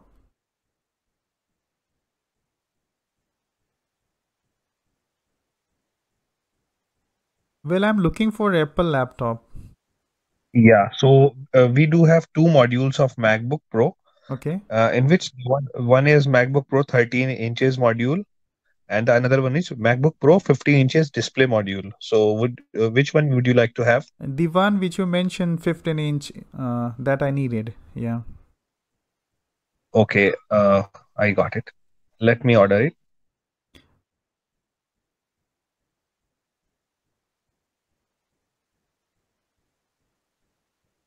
Uh, so please note down the request number. I just uh, create a request on behalf of this order. The Okay. request number is REQ Okay. 0010010.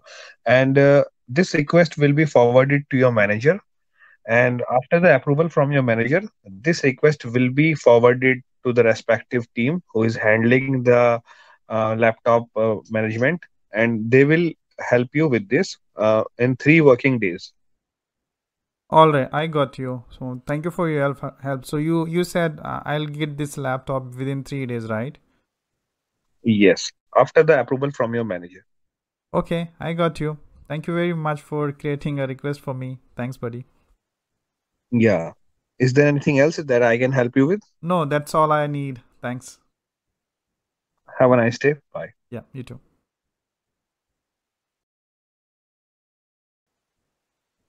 That's it, guy. Let's see you next video. Hi there, welcome back. In this video, we are going to learn one of simple issue which mostly we get on daily basis where user called you and is stating that I'm not able to access my virtual machine. So user logged in. So this is user logged in with the Citrix URL and user is not able to launch trading desktop. It is published trading desktop all right? So user clicked on trading desktop and it says cannot start desktop trading desktop all right? So you have to check which trading desktop is assigned to the user. Now we log in to the director all right? So i already logged in logged in with my id and i will search the machine name which is assigned to the user which is citrix svr01 all right now after see I could see the maintenance mode is on on the machine. That's what user is getting. That error message is not able to connect. Why this happening is when user click multiple time on the Citrix icon the virtual machine icon it moved to the maintenance mode. So we have to remove this maintenance mode all right? And we need we need to ask user to give a try again to access the trading desktop. Now there is no error message and it is ready to open. So click on open. Now user is able to access the trading desktop the citrix trading desktop which is published. That's it. Thank you Hi there, welcome back. In this video, we are going to take one simple example where user called you and is stating that I'm not able to access my VDI. Please help me to fix the issue. So this is the VDI name which is given by the user and user is trying remote desktop connection to access this VDI. Okay, so I put it over here. User is clicking on connect and it just loading. Nothing is happening to fix this problem, you need to log in into the VMware vSphere. You will get the idea of this. Okay, so I'm logging with my ID.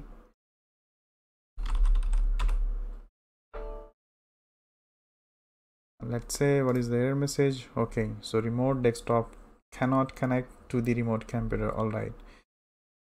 So let's see what happening. All right. So we have the VDI name provided by the user. This one oh so machine is powered off. That's what user not able to log in into the VDI of course user will not have any tool to power on the machine all right?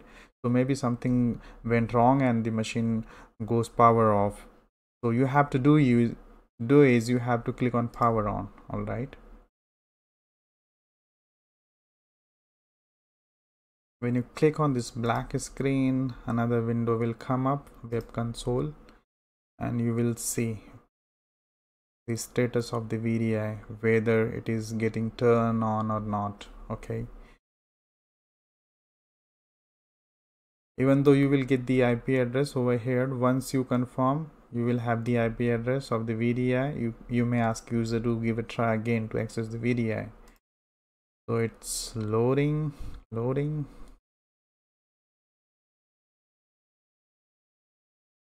so maybe there is another scenario where you don't the machine is powered on but there is no ip address assigned to the vdi okay? In that case also you have to reboot the machine okay? So if you go to the action and go to the power you need to click on restart. Since the VDI is powered on you don't don't see the screen. Other thing you can click on reset so machine will reboot okay so now this VDI got the IP address. Now you may ask user to give a try again to access the VDI so let's say connect. All right. Username is Steve. Let's put the password. Click on OK. Yep.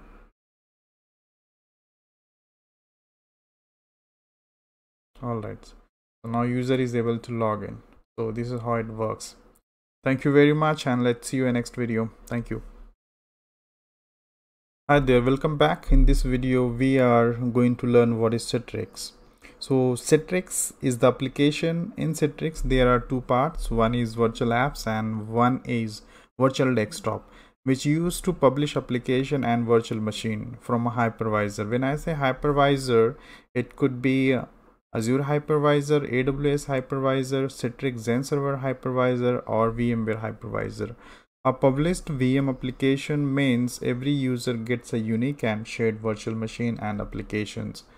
Why I bring up bring it up this lesson into the uh, service desk because we have little bit work on this uh, Citrix and the VMware so that we are going to learn in very next part. Thank you. Hi there, welcome back. In this video, we are going to learn what is VMware. So VMware is the application which used to virtualized server operating system, client operating system, and of course network.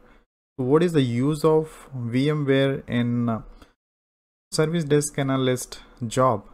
So there is very simple job in VMware uh, let's say user is calling you and stating that I'm not able to access one of VM, the virtual machine. So what you have to do is you have to log in into the VMware console. You will have the access on it and just reboot the virtual machine. And once you reboot the machine and you will see the virtual machine got the IP address, you, you need to inform user um, just try to access it now and the issue will resolve so this kind of stuff you have to perform in VMware as well as in Citrix so that we are going to learn practically okay? So let's see you next video. Thank you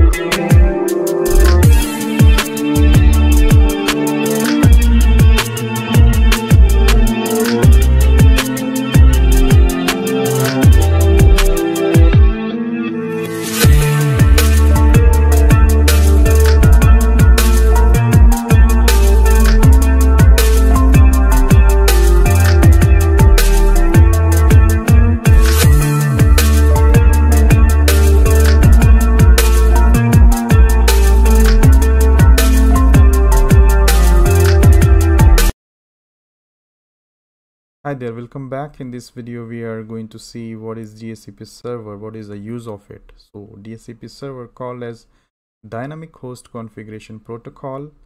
DHCP server automatic assign IP address to network devices. Network devices means your computer, your mobile device, the printer device, whatever device which required the IP address DHCP server will provide the IP address for them.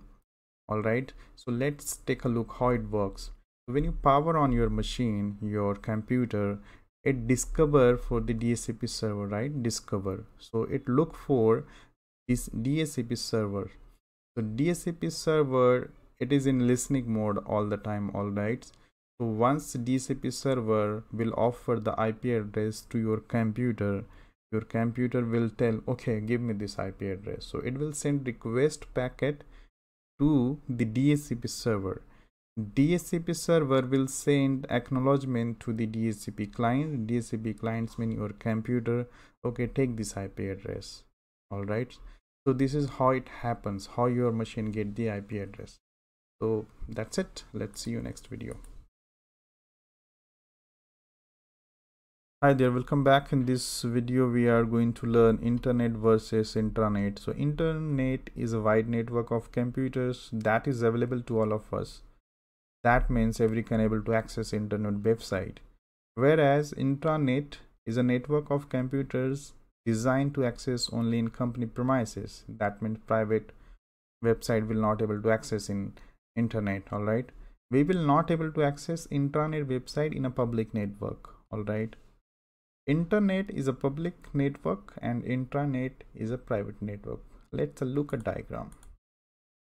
So internet it is open for all of us. Public can able to access. I mean every can able to access the internet website. Extranet only can able through suppliers partners customers. Customer also you can say a vendor all right so in this scenario company will provide access to in extranet company will provide access to suppliers partners to and customer because they do have to fill up some uh, information in the website. So they also able able to access uh, the extranet. All right. Intranet. So intranet will only able to access inside a company. Most of the time you will only able to see um, internet and intranet not extranet. So that's fine. All right so if interviewer will ask you what is internet and what is intranet so intranet website will only able to access inside company premises and over the vpn all right whereas internet website we can able to access from anywhere. All right so that is not necessary. You have to be sit inside the company. That is not necessary for internet website for internet you must have vpn if you're outside of the company or else you need to be connect your lan network to access internet website all right so that's it let's see you next video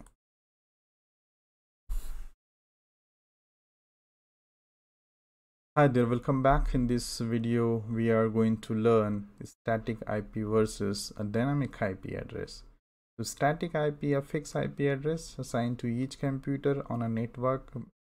I mentioned each computer, but it should be only uh, server or router. So I, static IP address will only assign to the server or router. All right, the static IP address will not assign to your machine. Right. So a fixed IP address assigned to a server or router on a network which means it stays the same over time all right dynamic ip address which means the address can be changed over time after lease period over. Let's take a look how it looks like okay? So if your machine if you go to the network properties and if you can see use the following ip address this check box that means your machine have assigned a static ip address which I mentioned earlier it should be a server all right? Most of the time I mean I can say 90 percent 99% time your machine will have the dynamic IP right? so the window which you can see here this is dynamic ip address. So obtain an ip address automatic all right? So this is called dynamic ip address all right so this is my machine. It's a windows 10 machine. If i go to the uh, network property and it is a shortcut command to open the network properties. If I open this go to details what you can see is go to properties double click on this one. All right obtain an IP address automatic. That means this machine is assigned dynamic IP address. Let's say if I want to assign static IP address to this particular machine. Why we assigning a static ip address? Some if uh, you are a developer i mean if you are a website developer and something like that uh, you always need a single ip address okay to uh, make sure uh, to perform your given activity. So when you select this one you can give this you can give it here the manual ip address whatever you have and just say okay all right so once you click on ok the static ip address will assign to you.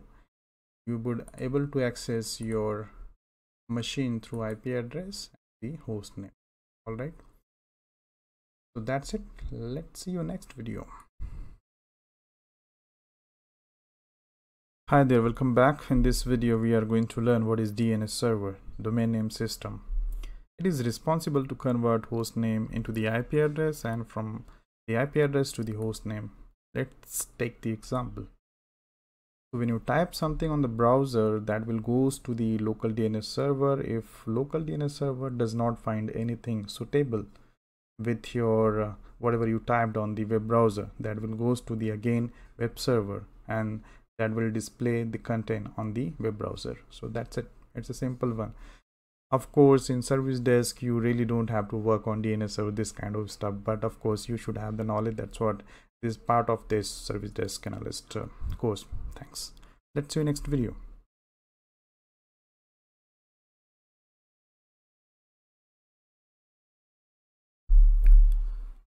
Hi there, welcome back. In this complete section, we are going to talk about the IP addresses. So let's get it started. So what is IP address? When somebody asks you what is an IP address, so correct answer would be IP address is a unique address that identifies a device on the internet or local network. Local network when it is mentioned lo local network it is uh, inside company premises each and every device will have IP address. If your machine doesn't have IP address, you will not able to access the internet or intranet. Internet is the public place where you can access the internet, intranet inside the company, inside the company premises. Each and every device which are available over internet or intranet will must have IP address. Communication will not happen without IP address. That means if your machine doesn't have the IP address, if your phone doesn't have the IP address, you will not communicate over internet. You will not able to access internet. Windows command to check IP address of machine. So here is the command where you can type is ipconfig. Once you enter it, you will get the IP address of your machine. ipconfig slash all is the command where you will get more details. Let me give you example. So i have this machine i have uh, cmd let me open the command prompt called dos command prompt. I will type ipconfig and simply i will get the ip address of the my machine. Let's see I, if i need more details. Okay you can type ipconfig same and slash all now you have much details on your network adapter. What is the dns name? What is the ip6 address? What is subnet? What is dns uh, lease optional lease expires time. Everything you would able to see when you put the command ipconfig slash all. Also you will get all the network adapter details if you have additional network install. Let's see if you connect it to vpn you will get two ip address. Let's say you have a different uh, network adapter. You will get all the information on this black window on the command dos command prompt mode. All right. APIPA address 169.254.00 to 169.254.255.255 what is this okay so APIPA address when this APIPA address will get assigned to your machine let's see um, there is no DHCP server available in your network maybe it is temporary down or maybe uh, the DHCP server has some problem. When I say DHCP server, it could be your router, home router. In company, there would be Windows Server 2016, 19, 12, whatever it is, and there DHCP role was installed. Okay, so if machine will not get any address, it will get assigned automatic APIPA address, all right, which start from here. All right Let's see you next video.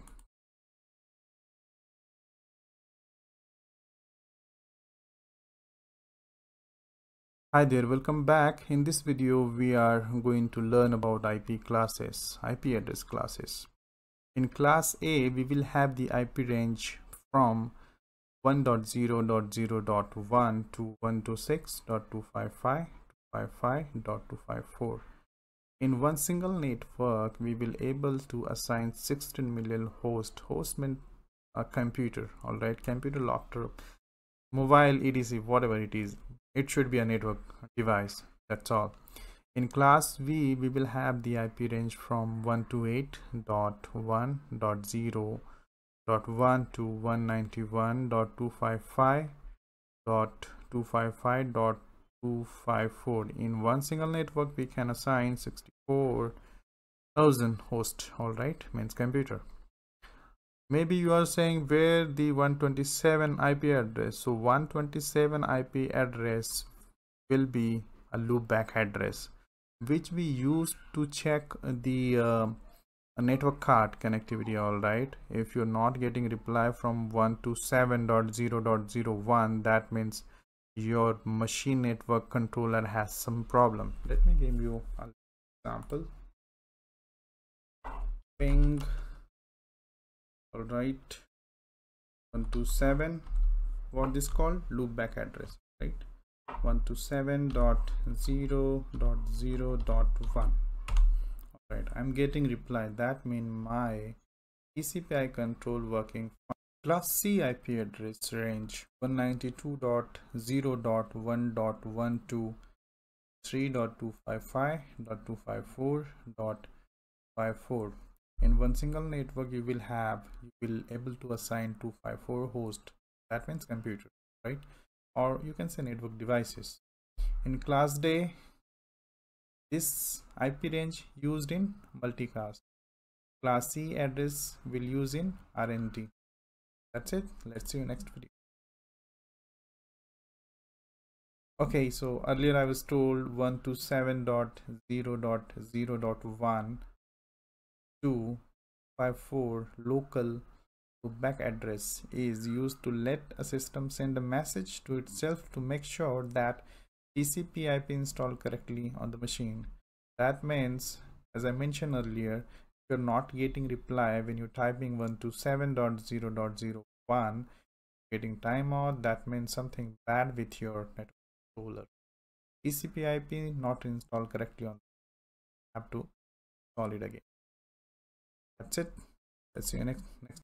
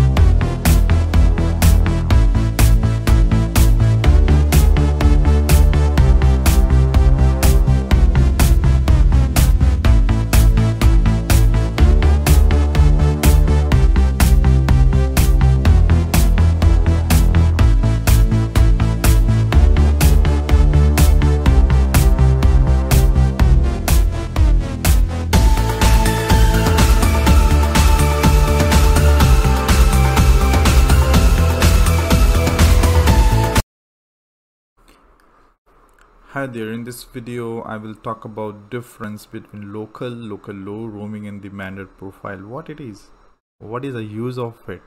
So let's see it. Local user profile is created the first time that user logs on the computer. The profile is stored on the computer's local hard disk. What that means is when you log into your machine using local ID password, what that means is whatever you saved on your desktop that will be remain same on the same machine on the same drive. If you log into another machine those files would be not there on the desktop. So again a local user profile is created the first time that user logs on to a computer. The profile is stored on the computer local hard drive okay so the everything whatever you saved on the desktop whatever you have make the favorites you have make the changes whatever setting windows uh, os level setting or uh, the uh, application level setting everything will be stored on the local machine okay? It will not saved on the centralized machine okay? Centralized hard drive. So changes made to the local user profile are specific to the user okay? So whatever you have set up on the single machine that will be remain same on the same machine only okay? When you log into another machine or another machine you have to set up everything again okay? So let's look at a roaming profile. A roaming profile is stored on the central server which can be accessed from all the domain computers. This allows you to have the same environment setting on every machine to which you log on. Your roaming profile is copied to a machine when you log on and is synchronized back to the server when you log off. So whatever setting you have on your machine right now, I'm talking about the roaming profile, the same setting you will get when you log into another machine on the same network, okay? When you log off the machine whatever you have made the changes again those will be synchronized centrally okay? And once you logged in back the same setting you will see okay? So nothing you will lose. Let's talk about the mandated profile. Mandated profile is almost same as a roaming profile. When a user has a mandated profile they can log on to different computers and get the same desktop settings but user will have restriction to change anything. So mandated profile usually used in uh, uh, the banking sector where whatever changes they have made uh, admin have made for the user those setting user will get. What that means is user will not able to change the wallpaper user will not able to access the control panel. Whatever restriction have done on the mandated profile those things user will not able to change it. Everything user wanted to change it will prompt to enter the password admin credential. So mandate profile something which used widely used in banking sector the insurance sector where the security is must okay? So this all about the uh, windows 10 and 11 profile. If you have any question please put the comment and i will happy to answer your question. Thank you very much Hi there, in this video I will talk about little bit not in deep but just a little bit to give a right answer to the interviewer. What are the differences between below Windows 7, 10 and 11 options? Log out, log off, sign out and lock screen. Well log out, log off and sign out these three things are same. The name is given differently but the functions are same when you log out of course whatever running in the machine that will be closed out. Those application would be closed out and your machine would, would be log off. Log out or sign out. Lock screen something is different like you just uh, safety app. Let's say you are just wanted to go away for for some time from from your desk. So what you do what you do you will not log off your machine because you wanted to log in back again to work all right so in that case we will just log the screen not log out or log off or sign out. Well log off option we will get only in windows 7 that is now outdated but of course we have log out sign out option you can see in the windows 10 11 so let's look at some example. So this is my windows 10 machine. Let me run something edge browser. And what else i can setting option. Okay. So right now what i will do i will log out from the machine. So right click on the start menu go to this option and sign out so now i'm getting here sign out. That that what that mean is log off or either log out. That is same okay? So sign out. Now what happened? Whatever the whatever the application was running earlier inside my account that will be completely closed out okay?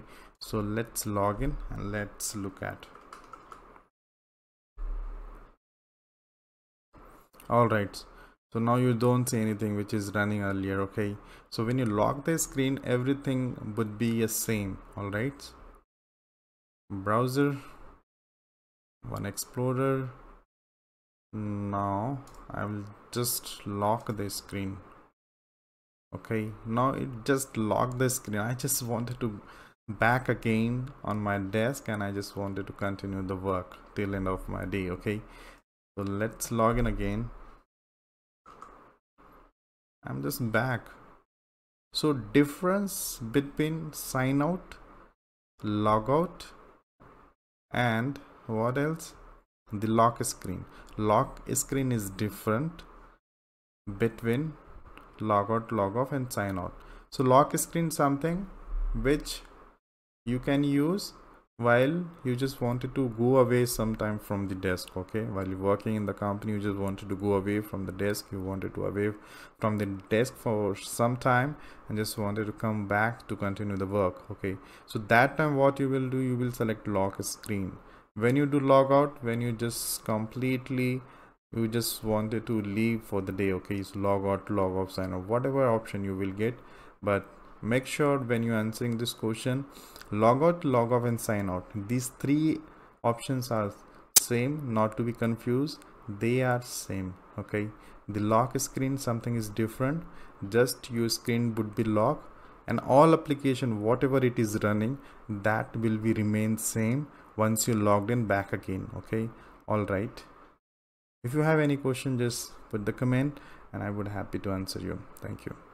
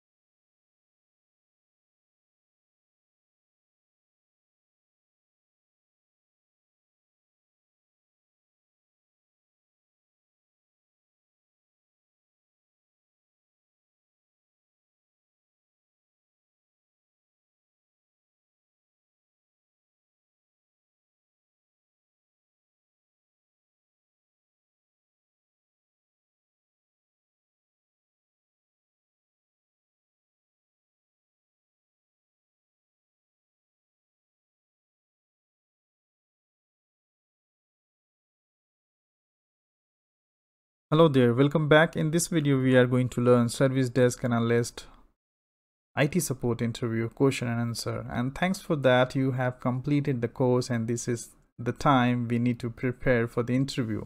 So let's get started. What is an operating system? Operating system is the application that communicates with hardware and software. Without operating system, we cannot install any software on it. What is the difference between client OS and server OS? Client OS system is like Windows 7, Windows 8, Windows 10. We use client operating system for daily work and only one person can log in at a time. Server operating system used to manage all network resources. Editions of Microsoft operating system. Home Edition, Professional Edition, Enterprise Editions. Recommended hardware for Windows 7, 8 and Windows 10 32-bit. 1 GB RAM, dual core and 16 GB hard disk required. Alright. Recommended hardware for Windows 7, Windows 8, Windows 10 64-bit. 2 GB RAM, dual core and 32 GB free hard disk need to be required. What is Microsoft Office? Microsoft Office is a daily needs software package which comes with Excel, PowerPoint, Microsoft Word, Outlook and OneNote. What is Microsoft Office O365? O365 is the latest version of Microsoft Office 2016. What is Outlook and how to configure it? Outlook is an application that used to manage emails. To configure Outlook, we need to go to control panel. We need to open the email and we need to click on show profile and we need to select add and we need to fill out the information to get the configure user profile. What is ticketing tool in ServiceNow? Ticketing tool is an application where we manage request, incident and change. Every IT must have this tool. What is ticket priorities in the ticketing tool? Low priority, medium priority and high priorities. Low priority, system slowness. When we raise low priority ticket, system slowness, internet not working, Outlook not working, SLA 48 hours. Medium priority tickets if user is calling back you and saying that nobody have contacted me yet and i need to deliver some urgent project if i not we will lose some kind of stuff. We will lose the money. In that case we have to mention in the ticket and we need to in increase the priority from the low to medium. So as mentioned here the user has requested to make this priority as he needs to deliver the project. SLF for medium priority ticket is 24 hours high priority tickets. When we raise the high priority tickets if whole system is down the complete site is down all right more than 10 users are affected then in that case we need to raise high priority tickets. And SLA for high priority ticket is 4 hours. That mean that should that ticket should be resolved within 4 hours. What is itil Information Technology Infrastructure Library. It's a full form of ITIL. It is designed to manage IT infrastructure. What is difference between request and incident? Request could be anything which use user requesting first time. Easy software installation, RSA token request, shared drive access, new hardware, additional mailbox. Incident we can say incident like the application is already installed and having some kind of issue. It's not working like that. Software not working or is working slowly unable to open the network drive this kind of stuff comes under incident. How to reset the password? Open active directory and user and computer tool find the user and reset the password. We have done this um, the practical. How to fix an account lock lockout issue Ask the user to log out from the all devices where he she logged in with an old password, then reset the password again using user and computer tools and we'll ask the user to log in again. Sometimes if issue not resolved, we need to clear all the password with saved and credential manager. That's it, Fox. We'll see you next session. Thank you. Hello there, welcome back in question and answer part 2. So let's get started. What is class A, B, C, D and E IP addresses? In class A, the IP will start from 1.0.0.1 to 126.0.0.0. subnet mask would be for class A IP address is 255.0.0.0 for class B the IP address will start from 128.0.0.0 to 191.255.0.0 for subnet mask for class B is 255.255.0.0 for class C IP will start from 192.0.0.0 to 223.255.255.0 I originally put it one dot so just leave that just one single time subnet mask for class C is 255.255.255.0 for class D IP will start from 224.0.0.0 to 239.255.255.255 it is reserved for multicasting. Class E IP address will start from 240.0.0.0 to 255 and 3 time 255 not 5 time just added additional okay so just just 4 time not 5 time. Reserved for research and purpose. So these two IP address you will never seen on your computer. If you go to your command prompt and you will type ipconfig you will uh, mostly get the IP address from 192 from your home network. If you're in the office that mostly you will get on this range all right what is internet and intranet? Well what is ip address ip address uh, called uh, internet protocol. Ip address used to connect to different devices all right? I mean without ip address we won't able to communicate with, between two computer. So ip address is the internet pro protocol which used to communicate to devices. What is internet and intranet? Internet sites can be accessed over public network but intranet site only can access inside company network or over VPN. What is DNS? Domain name server is a standard protocol that helps internet user discover website using human readable addresses. Without domain, the internet would collapse. It would be impossible for people and machines to access internet server by the friendly URLs they have come to know. What is DHCP? Explain the DORA process. It's responsible, the DHCP server responsible to provide IP address to the client machine. DORA process called DORA, D as in discover, O as in offer, request and acknowledgement. What is Active Directory? Active Directory is the role of the server which manage object and attributes centrally how to share files and folder right click on the folder which you wanted to share go to the properties select sharing tab click on share. In the option you can share the folder with everyone or particular user. What is difference between workgroup model and domain model? Workgroup model not centralized not secure no cost very tough for administration. It is used i mean workgroup mostly used in netcafe not in the company. Domain model it's very centralized secure cost matter i mean you have to buy the server license copy you need to you need to have the people who handle the domain so cost is the matter for domain using a small medium and large size organization which remote tool we use to connect user machine? Remote Assistance, Skype, Microsoft Teams, Cisco WebEx and Bomgar. Difference between 32-bit and 64-bit operating system.